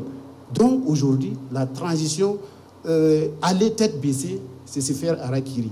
Parce que c'est se faire harakiri. ce qui importe aujourd'hui, c'est de saisir la balle au rebond pour effectivement reconvoquer tous les acteurs et puis essayer de voir ce qu'on peut faire, fixer une nouvelle échéance, euh, longue ou à moyen terme, pour permettre au peuple malien de s'exprimer. Parce que quoi qu'on dise, euh, de toute façon, la Constitution demain, est-ce qu'ils ont suspendu la Constitution au Mali? La Constitution demain, il y a les droits et les obligations des citoyens qui sont, ils sont consignés. Donc il faut forcément respecter ce que l'État de droit demande euh, au profit de tout le monde, de toute la situation. Merci beaucoup. On va évoluer malheureusement, on est pris vraiment par le temps. C'est donc dans ce contexte tendu au Mali et dans plusieurs autres pays en Afrique de l'Ouest que le ministre français des Affaires étrangères entame une visite en Afrique. Après le Rwanda et le Kenya, Stéphane Séjourné est arrivé à Abidjan. Rapidement, tour de table, parce qu'on a vraiment débordé. 30 secondes chacun. Selon vous, c'est quoi les enjeux de cette visite? Bon, je pense que... Au moment où les voisins, je rappelle, de la Côte d'Ivoire, je pense notamment au pays de l'AES, le Burkina, le Mali sont quelque peu hostiles à la politique française Non, je pense que c'était tout à fait prévisible parce que euh, après l'humiliation subie euh, dans les trois pays, notamment le Mali, le Niger et le Burkina, et euh, c'est de convenir au Sénégal parce que l'aile qui supporte la France-Afrique a été littéralement battue. Et il faut que la France se réveille pour que les derniers alliés qui les restent, en tout cas, ils se parlent. Et vous savez que la Côte d'Ivoire et puis la France, en tout cas, ils ont de très bonnes relations, comme le président l'a affirmé. Mais moi, et, je verrai aussi une autre lecture, parce qu'avant l'arrivée de, de, de, de Sévan, il y avait le Gabonais qui était là. pour voir Alassane. Et tout le monde sait que ce qui s'est passé au Gabon, c'était un coup d'État par anticipation. Bon, et la France ne peut pas se présenter au Gabon de cette manière. Est-ce qu'on n'a pas délocalisé le terrain où on devait se parler Est-ce que ce n'est pas à partir de la Côte d'Ivoire que les îles devaient être données? Tout ça, c'est des, tout ça, c'est des éléments qu'il faut mettre dans la balance. Mm. Et puis on resterait, on verra. Merci. Euh, Ali Nana, il y a en marge de cette visite, euh, le ministre français disait ça, la France n'a pas à se prononcer sur l'avenir du franc CFA. Nous ne sommes plus dans la gouvernance. Nous n'avons plus de réserve en France pour garantir la monnaie. Nous avons fait notre part du chemin en sortant de la gouvernance du CFA maintenant aux États africains de décider. C'est ce qu'il a dit. Quel commentaire faites-vous? Ça ne pouvait pas être autrement. De toute façon, une fois de plus, euh, la France reconnaît son échec au sein du franc CFA et il donne en même temps quitus aux autorités euh, euh, africaines de pouvoir décider du sort de leur monnaie. Donc je crois qu'à ce niveau, pour revenir un peu sur la, visite, oui, la visite du du ministre des Affaires étrangères en Côte d'Ivoire. Pour ceux qui savent, ceux qui ne savent pas, euh, la Côte d'Ivoire est le 24e pays de la diaspora française au monde. Écoutez bien, euh, la Côte d'Ivoire, euh, il y a 2000 milliards qu'une firme française vient d'injecter dans l'économie ivoirienne à travers le métro de Côte d'Ivoire. En Côte d'Ivoire, il y a 1000 militaires français qui y sont. La Côte d'Ivoire est toute on peut pas. Aujourd'hui, la Côte d'Ivoire représente euh, euh chose très important pour la France. Et perdre la Côte d'Ivoire, c'est perdre toute l'Afrique. Et je crois qu'aujourd'hui, dans la politique et dans la diplomatie française, aujourd'hui, c'est comment travailler à maintenir ce qui lui reste actuellement, notamment la Côte d'Ivoire, les Congo euh, et, le Gabon euh, dans l'air giron. Parce qu'aujourd'hui, l'AES est une réalité. la Russie est en train de s'implanter fortement dans les pays de l'AES.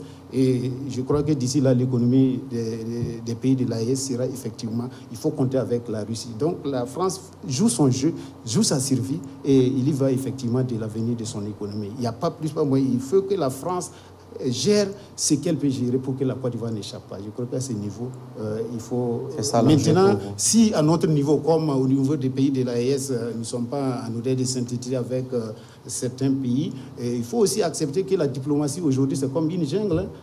Tout est basé sur les intérêts des États. Nous n'avons pas de sentiments, nous n'avons pas, c'est pas, euh, comment dirais, de la philanthropie ou autre chose. C'est les intérêts. Là où il y a des intérêts, si vous prenez l'Ukraine et puis euh, la Russie aujourd'hui, il y a des accords qui survivent.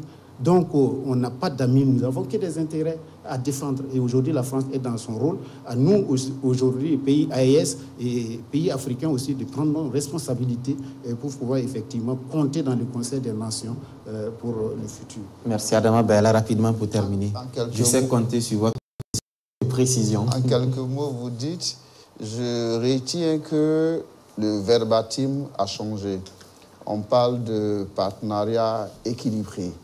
Euh, un concept qui tranche avec celui qui avait été sécrété et usité sous l'ère Sarkozy jusqu'à François Hollande, partenariat gagnant-gagnant.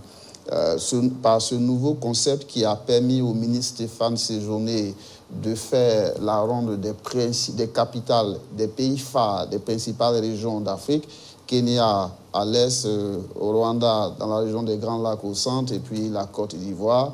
Euh, j'ai envie de dire, en quelques mots, vous l'avez dit, c'est une opportunité, une occasion pour la France d'essayer de conserver ici la main et là, ici en Afrique de l'Ouest, reprendre la main. Merci. Adama Bayala, je rappelle que vous êtes journaliste, vous êtes communicateur, auteur et formateur dans les écoles de journalisme. Merci d'être passé sur le plateau de presse Éco ce dimanche. Merci également à Aline Nana, juriste et analyste politique, d'être passé pour la première fois sur ce plateau. Merci de la disponibilité. Puis à Dr Moumouni Zungrana, enseignant-chercheur, maître de conférence en littérature orale à l'Université Joseph Kizerbo. Merci à tous de votre euh, disponibilité. C'est tout pour aujourd'hui. À dimanche prochain, si Dieu le veut.